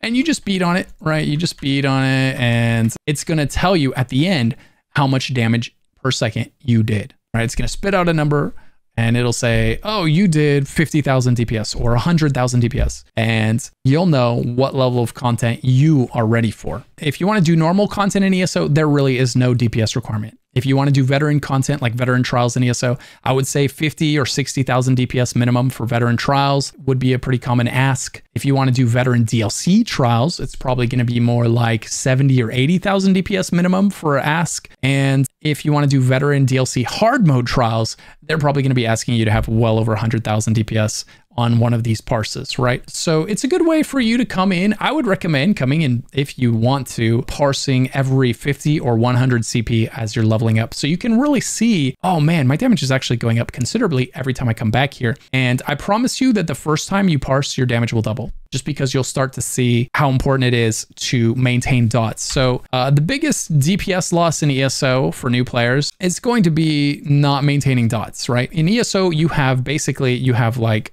you have your spammable, sometimes the semi-spammable, right? But you have a spammable that you use anytime all your dots are ticking or your buffs, right? And then every other skill is a dot or a buff. So you have one spammable and then a dot or a buff as every other skill. So you're playing a little bit of a whack-a-mole here where you're trying to keep all those dots ticking. They all last between 10 and 30 seconds generally, and you keep reapplying them. And if they fall off, you go and reapply them. If you're all ticking, right, right, you re you apply them on, then you've got five seconds until one of those buffs or dots falls off. Then you can use your spammable five times, right? Or in the necromancer's case, you'd use your spammable. And it, I don't want to get into rotations here because that's a whole nother bag of worms. Every one of my builds has its own rotation, and I tell you what the rotation is in a really simple, easy to understand manner, hopefully. Yeah, I'm not going to get into the weeds of rotations, but just know the number one reason new players uh, struggle with their DPS is because they underestimate how important it is to make sure all of their dots are ticking at all times, right? Um, and light attacking between every single ability. When do you light attack? Between every ability. Who light attacks between every ability? Everybody. Literally everybody. Healers, DPS, and even tanks, although tanks are sometimes going to heavy attack instead of light attack between an ability. The reason we light attack between abilities is one, you're seeing all these effects trigger when I light attack him. That's procking my enchant on my weapon. It's procking my five piece set on my armor. It's procking my other five piece set. That's that big stone that just came out of the ground, right? Light attacking does a lot of stuff. It's also, it's also when I light attack, see how my ult charge is at zero right now? See it's at zero? And if I light attack, well, let's first, if I use blast bones, it's still at zero, right? Using abilities does not make your ultimate charge. Very important to know. Very important to remember. Light attack. Now it's going up three, three at a time. Okay. And it should be for nine ticks for a total of 27 ult charge. And there it goes, right? So every time you light attack, you get nine seconds of ult regen. It doesn't stack, you know, it's nine seconds from when you light attack. So you always want to make sure that you are light attacking between every ability for the damage, for the enchant procs, for the ult regen. There's a lot of benefits that come from light attacking between every single ability. It's just a part of ESO. It's something that every new player struggles with at first. It's really actually very simple. Don't overthink it. Don't overthink light attack weaving. Uh, that's what it's called. It is as simple as going light attack, ability, light attack, ability. It's just it's just a click between every skill. That's it. It's not complicated. It's not hard. It's just muscle memory. It's just something that you have to get used to. And people will tell you about animation canceling. That's literally just canceling the animation of your light attack. So this is a light attack without canceling the animation. Okay. It goes all the way around and then the arms come back and then he rests in front of him. So it starts, stops, right? I could do light attack animation, light attack animation. You don't even see the light attack happening anymore. You just see the scythe, right? But both are happening because I'm using the light attack and the scythe in near succession. So almost at the exact same time, I press the light attack, but a fraction of a second later, I press the scythe. And I get credit for both because they technically have different cooldowns. The light attack has one cooldown. I can only light attack so fast. And the scythe has a one second global cooldown, just like all abilities do.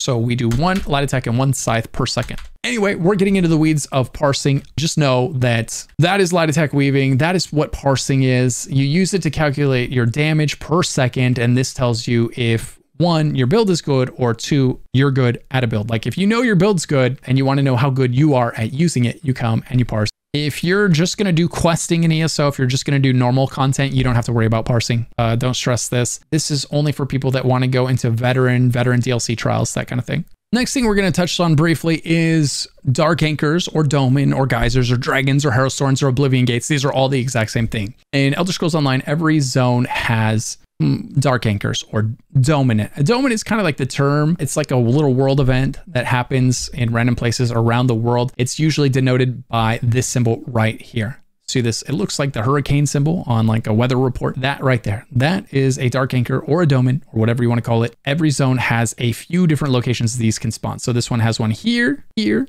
and here. And only one can be active at a time. And when one is active you'll see like two swords crossing over top of it indicating hey this is the one that's active right now. And when you go to any zone so if i go to this zone it has a bunch of them right? Right here here here here here, all over the place. Every zone has its own version. So in all the base game zones, it's these dark anchors that fall from the sky. And then in all of the chapters, they have their own iteration of that. Here it's volcanic vents. In Somerset, it's these geysers that shoot water out of the ground, right? It's always a different thing depending on which chapter it is, but it's also the same thing in a way. It's an event where everybody congregates and like takes it down. Uh, they can all be soloed. They're all pretty easy to do. They can be soloed by just about anybody, except maybe Greymoor. Greymoors can be kind of difficult to solo, probably, uh, especially for a new player. Dolmen to be aware of, though, is the ones in Alik'r Desert. These stand out above the rest for one reason. I'll teleport there real quick to show you why. Okay, so in new, uh, so here's the, you can see this is the active one right now, which means this will probably be the next active one that I'm at. I'm guessing it's going clockwise. It can change, but right now it appears to be going clockwise. So in a moment, you'll see this crowd of people. This crowd is going 24 7, 7, you know, it's like seven days a week, all day, every day. The, there is always the Alik'r Dolmen. People come here and lose their souls. You have to be careful about doing the Alik'r Dolmen. It can be a very effective way to level. It doesn't require you to have any gear. It's the Netflix and chill way to level in ESO. Like if you just want to get passive experience without turning your brain on, without having any good gear, this is where it is. So here they come as predicted, right? They're all spawning in. You'll see a lot of people come and they're all running up to do this Dolmen event up here, which we should be able to see spawning in any second.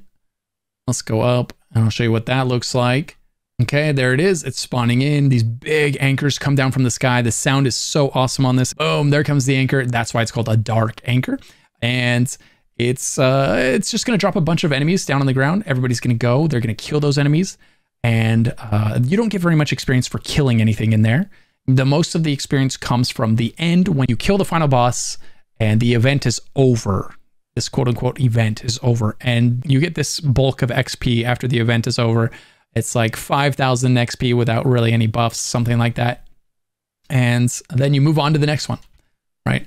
And so they're going to kill this one until the final boss uh, spawns, and then they'll kill that boss, and then they'll teleport to this one right here. They'll teleport to this, go here, then let's teleport to this and go here, right? If you're ever curious about the Dolmen farm, I have a guide on eso.justlootit.com that tells you just search for Lucky Ghost Dolmen guide or whatever, you know, and you will find that. So there's the boss.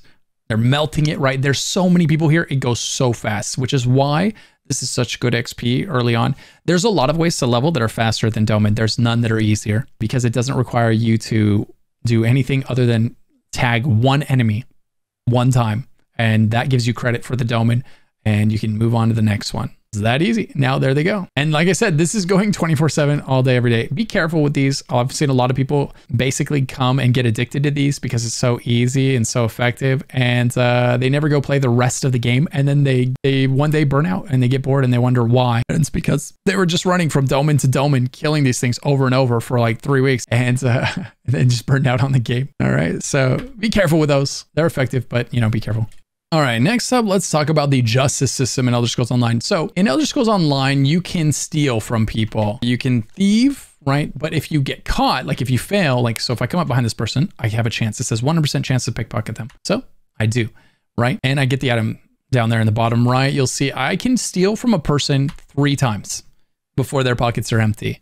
Each time that you steal from the same person, your chance of succeeding generally gets lower, although some NPCs are super basic and you have a great chance of succeeding. Generally, the higher the chance of succeeding, the worse the loot is going to be from that NPC. Now, if I were to get caught, like if a guard was walking by and saw me steal from this person, he would get mad. Or if I attack this person, like I'm going to do right now, I am now notorious. Down here, you can see my bounty. So if, if a guard comes up to me, or if I walk by a guard, he's going to say, hey, halt, you just broke the law, right? Because I just killed this civilian. I one, I stole from her, but I didn't get a bounty for that because I didn't get caught, and then I murdered her. So now I'm gonna walk by this guard to show you what happened. It's not really a big deal if you get caught for it. You just have to pay the 138 gold, and the big thing is that they'll take from you anything that you have on you that was stolen. So if you've been doing a lot of thieving, like if you just were stealing from a town for an hour, you don't want to get caught, right? Because you'll lose all that hard work before you get a chance to go and sell it. So if I talk to this, if I walk by this guy, he'll be like, "Hey, right?" And I have the option to pay, and he'll take all the stolen goods off of me. I can I can use clemency, which is one of my passives from my thieving line. I, uh, which you know, actually, I'll do that. Right, I'm gonna do that. So he would have just taken the gold from me and the 83 gold that I owed, and he would have taken the items. But I could have come to the outlaw refuge. Outlaw refuge is this symbol right here. After you steal, you can come in here and you go to the fence, and then you come in here, talk to the fence, and the first thing they're going to say is, I will not buy anything from you if you have a bounty. I have a 23 gold bounty left, right? So say I have some passives that reduce that. So that's why it's less than what it says. Okay, yeah, here, here's 14 gold. Now I'm saying, I got some goods, man. I want to sell these to you. He's like, sure, I'll pay 110 gold for that. Okay. And I'm selling it to him. I could also launder it. So if I wanted, if it was an item, like let's say I got a furnishing recipe that was really valuable, or I got something that was actually valuable and I wanted to keep it, I could launder it, which means I pay him 100 gold, he gives it back to me, and I get to keep it in my inventory. When you sell it to the fence, it's gone and it's gone forever. There's no buyback when you sell to the fence. So be careful in here. Don't accidentally sell something that you wanted to keep. And just know that if it says treasure, see in the top left of the corner there, if it says treasure, it's garbage. Treasure in ESO is meant for one thing and one thing only. It is to be sold to NPCs for the gold value of that treasure. So this one is worth 100 gold. I'd sell it for 100 gold. I have some passives that make it so that I get more than 100 gold when I sell the fence. Apparently a 10% bonus, right? There's passives in the uh, passive line for thieving. There's also passives in your CP tree that would actually make this a lot more that I don't currently have slotted right now. So this is going for 110 gold. And if we slot that passive, increase fence values. Okay, so we'll put this on, confirm the changes. Always remember to confirm changes. All right. And then we talk to the fence. It was selling for 110. Now it sells for 135. Oh, you know, if you're going to do some thieving, just make sure that you go ahead and go to the green tree and slot your thieving ones. You want to slot cut purse. This is going to give you higher quality items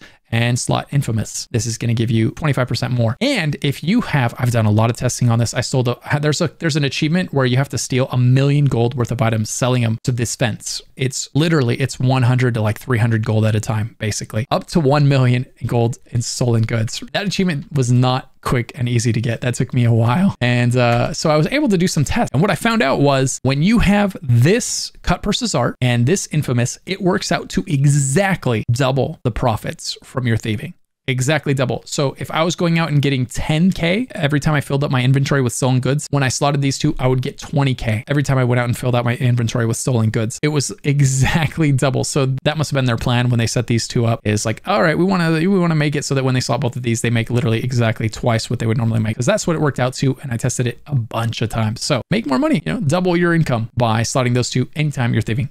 All right, the next thing I'm going to touch on real quickly is force picking locks. This is a question I get a lot when people are watching me stream ESO. I'll be streaming the game and then I'll walk up to a chest and I'll open it immediately. And they're like, wait a second, how did you skip the lock picking minigame? Normally you have to come in here and you have to push this down. And as soon as it starts vibrating, you let go, right? You just watch it and you just let go, right? And you get to the last one, same thing. I'm not going to do it right now. So I can show you the alternative option, which is down here at the bottom. It says force lock, 85% chance.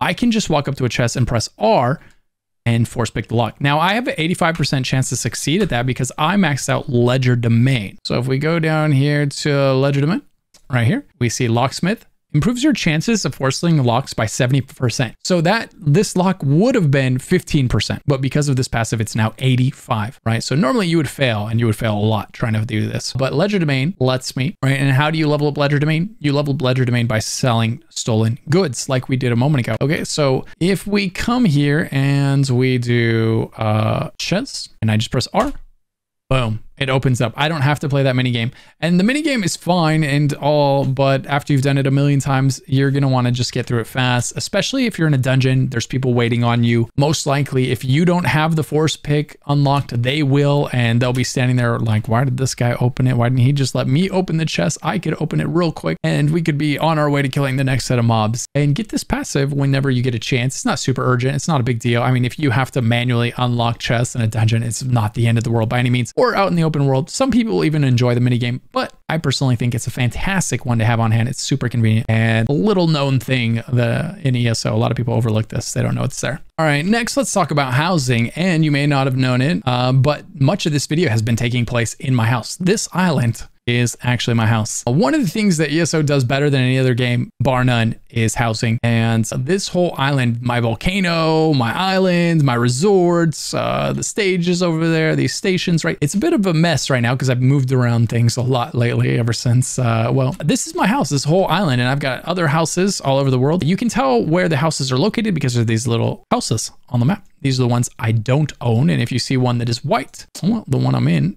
or this one right here, it's kind of hidden.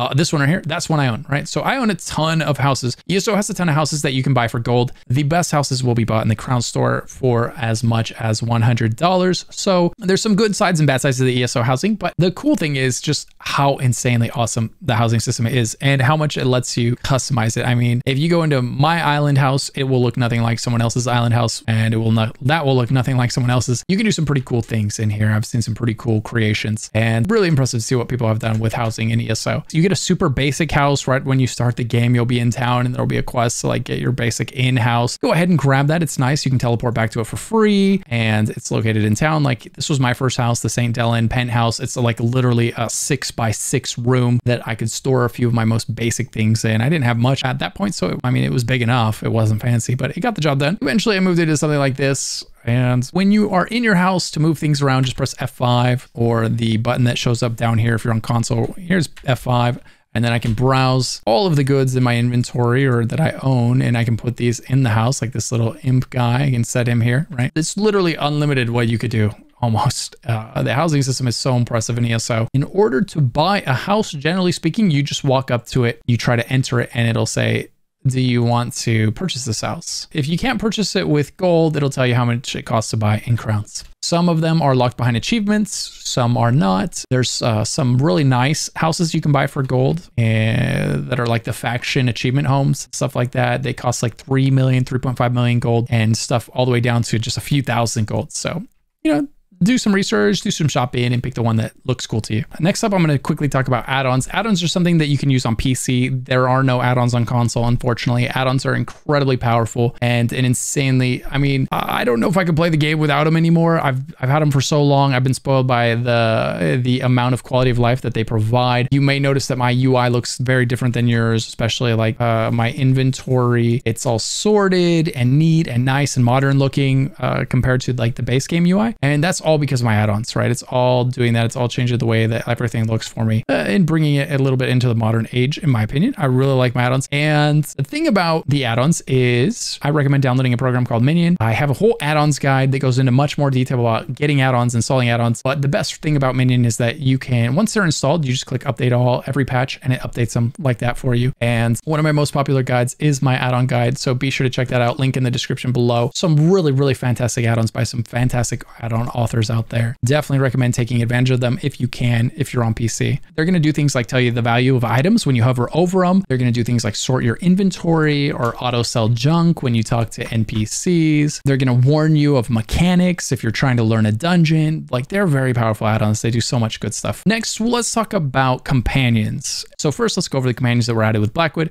In Blackwood, there are two companions added to the game, Ember and Bastion. Ember can be collected by heading up north to the Doomvault Vulpinaz, and Bastion can be collected by heading down south in the zone of Blackwood to Deepscorn Hollow. If you go there, you'll find Bastion tied up. You start a quest with him. Likewise, if you go up to the Doom Vault, you'll find Mirri up here. So she is a dark elf. He is an Imperial. She's kind of uh she's kind of like fun, not really. She's pretty critical, but not too bad. Bastion is a whiner. Uh, he complains a lot. He doesn't like cheese, and he's gonna tell you every time time that you touch something that he doesn't like. She doesn't like when you pick up fireflies. That's her big thing. And there, you don't realize how often you accidentally pick up fireflies in this game until you are carrying her around and she's constantly complaining about it. So those two companions, if you want the like sassy dark elf, that's her. If you want the whiny imperial, that's him. Fortunately, in the next chapter, after that one, right? So that was Blackwood. And the next chapter, which was High Isle, they added two more companions. These are significantly better in terms of their personalities. Functionality wise, they're all the same. They all perform just as well as the other. They're all based on a class. So, you know, every class in ESO can be a tank healer or DPS. So every companion can be a tank healer DPS. It's really just about how you set them up. In my opinion, High Isle has the best companion, which is going to be Ember. And she's collected uh, here at the Tor Draioch, this little castle looking thing. Come here, find her, and start a quest with her. And that's going to unlock her. She's the best companion, bar none. She's the happiest, spunkiest. She's just in a good mood. She puts you in a good mood with some of the stuff she says. She'll, you know, get gleefully excited about every little thing you do. And, uh, you know, she's just kind of fun to have around. She brightens the mood a lot when you're traveling around, especially when you compare her to the other companions that, I don't know, ZOS tried to make them realistic. They tried to give them uh, likes and dislikes. And what ended up happening with the rest is they spend a lot of time complaining because all their dislikes are happening constantly throughout the game. Like if you're doing a little bit of thieving, they get mad at you. If you eat cheese, they get mad at you. If you pick a firefly, they get mad at you. If you do anything in the game, like there's some, you're constantly doing something where they're complaining. Whereas Ember, she's just go with the flow, man. The only time she gets mad at you is if you're fishing, which I don't do a lot of anyway, or if uh, she catches, like if you get caught thieving, like she's cool with you thieving. She gets excited. She's like, yeah, let's go. Uh, but if you get caught, she'll be like, oh, I'm disappointed. Eh? I thought you were better than that. So, and then over here, you've got Castle Navire, and that's where you would unlock Isobel. She's kind of like your knight in shining armor. Um, she's nice. She's in a better mood than, say, the two companions from Blackwood, but she is also a little bit of a complainer, you know, so she's like Bastion 2.0, basically. She's similar personality to Bastion, but complains a little bit less than Bastion. Um, but yeah, Ember is a Khajiit and she is a Breton. My vote, if you're gonna pick up a companion, go to Tor Draioch, pick up Ember, and never look back, dude. She's the best one by far. Companions do about nine to ten thousand DPS, so that's about the damage you're gonna be doing on day one as a level one noob. And they don't really ever get better than that. So they're just meant to be a little personality that follows you along. There's a little bit of a progression system. You can put gear on them. It's companion specific gear that drops. Uh, let's see. Let me go out and open up my companion menu so you can see what that's like. So if we summon my favorite companion here, don't mind her outfit. Chat made me do it. Okay, she's dressed just like me. Okay, and that was, I promise that wasn't my idea. You know, it's humiliating for her. So companion menu, we can see like right here is all the gear you could put on your companion. So I've got some blue, some green. I didn't spend a lot of time upgrading her gear because uh, frankly, her DPS is so small compared to mine. And I, am not, not bragging or anything like that. Like um, she's there for the personality. She's not there for the damage. That's, that's basically what it is. But if you're a brand new player or if you're a tank or you're a healer that doesn't do a lot of DPS, um, the damage that they provide can be helpful. Uh, and then here you can change their skills. You go to the skills menu by clicking skills, and then you can drag these on here as you unlock them. Guild, you can drag the guild skills on here. You level up the guilds by doing guild quests. So if you go do a fighter's guild daily, it levels up your fighter's guild or your companion. Just make sure that your companion is out when you turn in the fighter's guild daily, and that levels up fighter's guild on your companion. Okay, very important. Same with mage's guild, same with undaunted guild. Just do the dailies, but have the companion out when you turn them in. Then that's going to level up the companion's skill lines. You can dress your companion. You can either put custom costumes on them by going to an outfit station and editing their outfit there, or you can just put, if you don't have like an outfit that you want to put on them, you can just do this and you can put one of your costumes that you have on them. If you've dyed this costume for yourself, it'll be dyed when they put it on the same exact way you had it. Uh, you can also pick the mount that they have. So when you get on your mount, they will also get on the mount that you choose. So I have her on that mount and I'm on this one. Okay. The last thing that you can look at is the equipment. So if I had some companion equipment, it would be like right there, right? And I could be like, oh, I got a companion belt. Put it here. Currently, if you have any companion equipment, it's taking up your inventory space until you put it on your companion. So you don't want to run around with like a bunch of companion equipment that you don't need. Go ahead and sell it if you don't need it because it'll be just clogging up your limited inventory space. So, you know, occasionally put your best equipment on her and sell the rest. Another cool thing that was added to Elder Scrolls Online was the Seals of Endeavor system. I touched on it a little bit earlier when I was talking about crates, but we can go more in depth right now. So the Seals of Endeavor was added as a way for you to get the really, really cool mounts like for instance, the one I'm on right now, I bought this with Seals of Endeavor. This is my Tyrael inspired mount for my inspired outfit. Uh, it just looks absolutely stunning. And I got this without paying a dime. I got this by doing the Seals quests in the game. Now, it does unfortunately take 10 to 12 months of doing the dailies to unlock said mount or mounts like it. Is, you know, they didn't make it easy, but it's better than not having any way at all. To find out what the seals of Endeavor dailies are, you just open up the group menu with P on your keyboard, or if you're on console, this button up here, the little people, right? And then you click endeavors. You can do three daily endeavors per day, and you can do one weekly endeavor per week. people found me.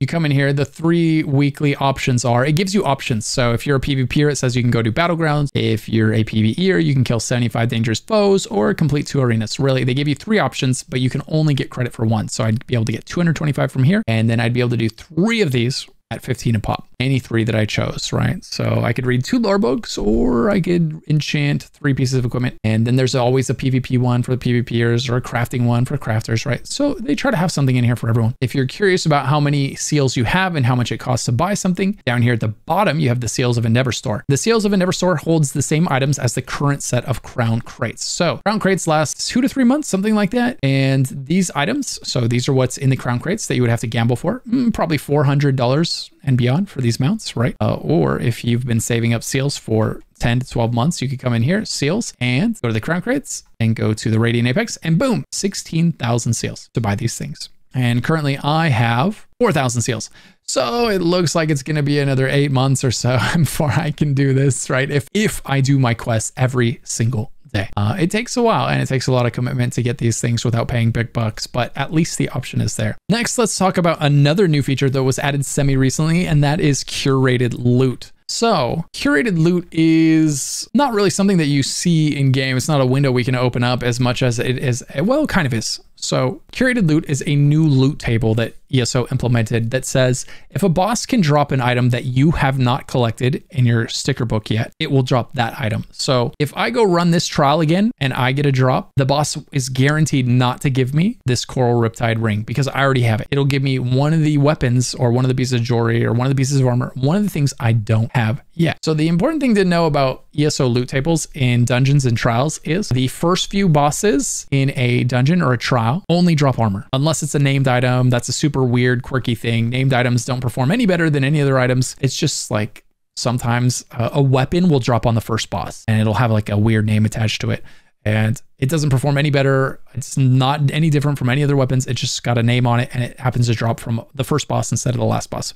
But typically, only the last boss will drop weapons and jewelry. So you'll have to kill the last boss in a dungeon to have a chance at the weapon or jewelry that you need from that boss or from that dungeon. Whereas the first three or four bosses leading up to that boss, uh, they're all going to drop the armor pieces. So you're always going to fill out your armor pieces really fast because all of the bosses leading up to the final boss drop armor, right? And there's only a few armor pieces, but then you have a ton of weapons and jewelry, and these only drop from the final boss. So this is where the time comes in, the time sink for filling out a set. It's uh, killing the final boss of the dungeon. The X factor is every time you open a chest in a dungeon, it could drop any item from that dungeon. So a chest, if you find a chest in the dungeon, it could drop a amulet, it could drop a helmet. It could drop a weapon. The chest doesn't have a limited loot table, and it's also it doesn't take advantage of curated loot, so it could also drop you an item you already have. So the chest is kind of like the it does what it wants. It drops anything it wants. It doesn't care about your loot table. It doesn't care about curated loot, and it doesn't care what bosses drop. It's just going to drop any item from that dungeon, right? Whereas the bosses, uh, only the last boss is going to drop these things. So curated loot says when you get to the last boss, he's going to drop one of the weapons or jewelry that you don't have, and same with the bosses leading up to him, which is why it's important when you're going through a dungeon on the first time, you bind every piece of gear that you get as you get it. This prevents the next boss from dropping that same piece of gear. That way, you don't get two chest pieces in a row. Like you kill one boss, he drops the chest. And if you don't bind that to yourself, the next boss could drop that same chest. So you got to open your inventory, right click the item, bind it. See that option right there? Just click bind and then boom, you've bound that item to yourself. No boss will drop that for you again until you've collected every other item that that boss can drop. And then he'll just start dropping anything again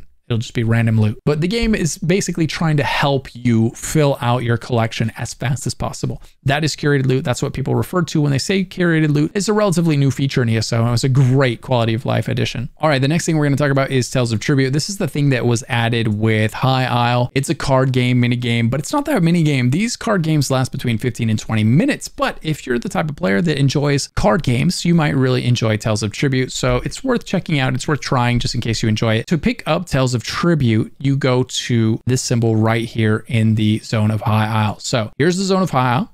Then you have the town of Gonfalon Bay. Then, the very southern part on this little peninsula right here, you have this building. So you go over here, you pick up the Tales of Tribute quest. There'll be a tutorial attached. It's a fun little thing. You try that out and learn how to play Tales of Tribute. Can be some decent rewards and some decent achievement rewards from doing this. Let's talk about how to buy the game, just in case you haven't done that yet. If you have, feel free to skip this section using the timestamps below. Elder Scrolls Online is available on PC, Xbox, and PlayStation. On PC, you can either buy the game from Steam or you can buy it from the Elder Scrolls Online website and use their launcher. There's no difference between the two versions of the game, so feel free to use either one. It doesn't really matter, honestly. The upside of buying it from Steam is that you don't have to log in and use your password every day. The upside of buying it from ZOS is that if Steam does go down, you will still have to use your password every day, but you'll still be able to get into the game. There's usually going to be two versions of the game available for you to buy, and depending on whether or not ESO is on sale, it's usually going to be going for between 5 and $20 for the base game, around $5 when it's on sale, and around $20 when it's not for the base game. Elder Scrolls calls its expansions chapter. So whenever you hear someone talking about a chapter, they're talking about an expansion. So if they say the newest chapter was awesome, they're talking about the newest expansion. So one of the things you have to decide when you're buying is if you want to own all of the expansions or not. If you buy the newest expansion or the newest chapter, then you'll own all of the chapters or all of the expansions up to that point. And when you buy that in combination with the base game, that's usually going to run you around $60 if nothing's on sale. Just to clarify, this is not the same as including all of the DLCs, of which there are a ton. There are four pieces of content released every year. There's two dungeon DLCs, each one has two dungeons, and there's two zone DLCs. One of those zone DLCs is the expansion, the, or the chapter as ESO calls it, and the other DLC is a zone DLC. Usually the way it works is the first quarter is two dungeons, the second quarter is the expansion. If you buy Elder Scrolls Online and you buy the newest chapter so that you own all of the chapters or all of the expansions, you still won't own any of the DLC dungeons or any of the DLC zones. That accounts for roughly half of the game or more these days. So in order to have access to all of that content, what you're going to need to do is subscribe to ESO Plus, the optional subscription for Elder Scrolls Online. So what is ESO Plus? Well, it's going to include full access to all of the DLCs, which is what I just started touching on.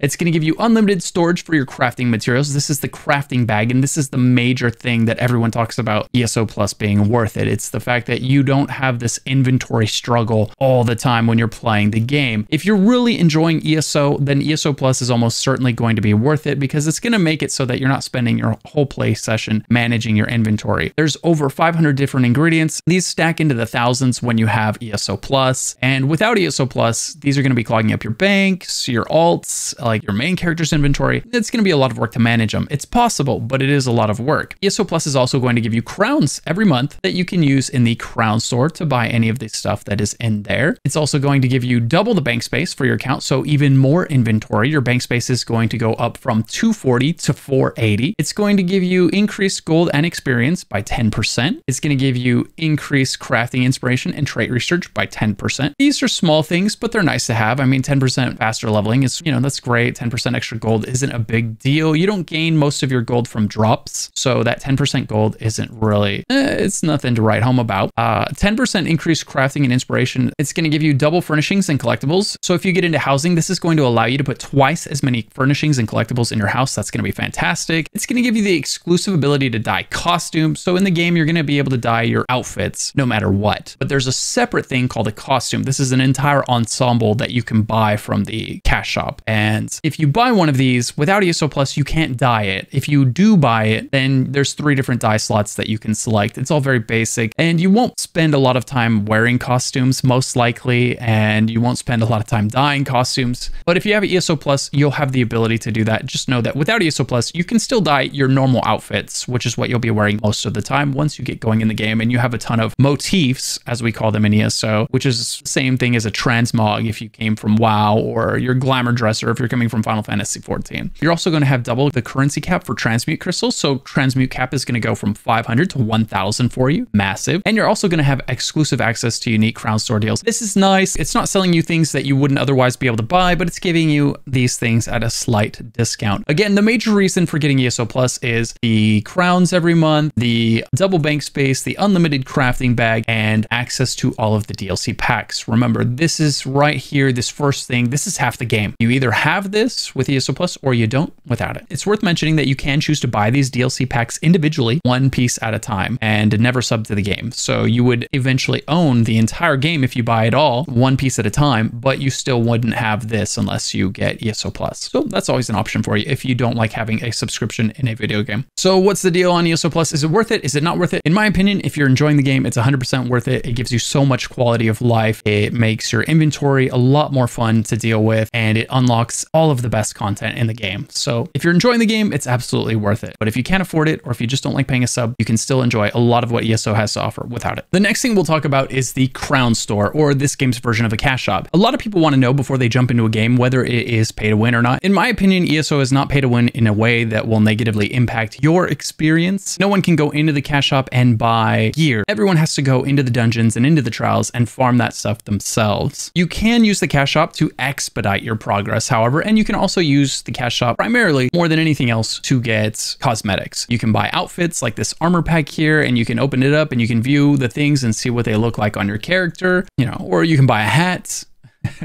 different holiday hats, little things like that. It's mostly cosmetic stuff. It also has crown crates. This is ESO's gambling mechanic. If you're someone who likes to gamble in your video game with real life cash, then these crown crates are for you. Just buyer beware. These crown crates have really, really, really low drop rates. So most people buy these crown crates hoping to get one of these mounts. These mounts are often going to cost you $400 or more if you're trying to get one of these. That's how low the drop rates are. It's below half a percent chance to drop one of these bad boys, right? It's really, really low. And so it's really, really expensive to get one. So if you buy these crates, don't expect to be getting these things. It's much more likely you're going to be getting the stuff down here, which is going to be little cosmetic things, maybe some pets, maybe a piece of armor. And very, very likely you're going to get things like this, like these dyes or these poisons or crown mimic stones. You know, these are the most common things you get all the way down here. So just buyer beware, gamble responsibly. I can't emphasize this enough. It's very, very, very unlikely. I'm talking $400 and beyond unlikely that you are going to get that sweet Radiant Apex mount at the top there, you know. So don't fall for these crates. Don't let your friends fall for these crates. Be careful if you're spending your money on these crates.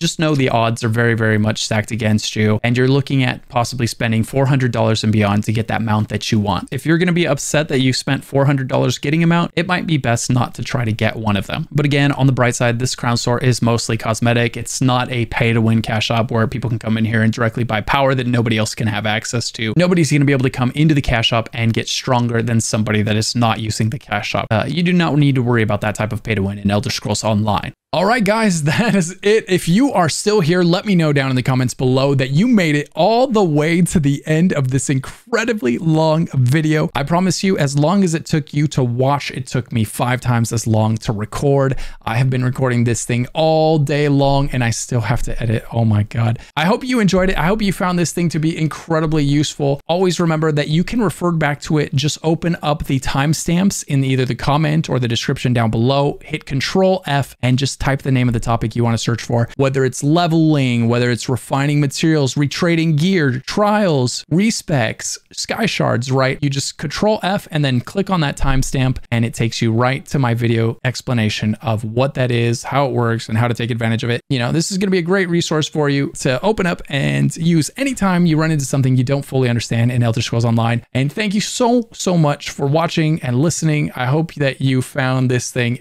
enjoyable and at least informative. And uh, like I said, if you're still here, dude, if through all of this, I hope you leave a comment. Let me know what you thought and if you enjoyed it. If you ever want to hang out with someone else that loves MMOs, be sure to swing by my Twitch stream over at twitch.tv slash luckyghost, where you'll find me playing ESO and other MMOs. If you ever have questions about ESO, you can always ask me there whether or not I'm playing the game. Be sure to use my site. I put a lot of work into it and I've had a lot of great people help me build a great resource for all ESO players, veterans and new players alike. If you're looking for guides to help you get better, if you're looking for build guides, whatever it is, take advantage of that resource.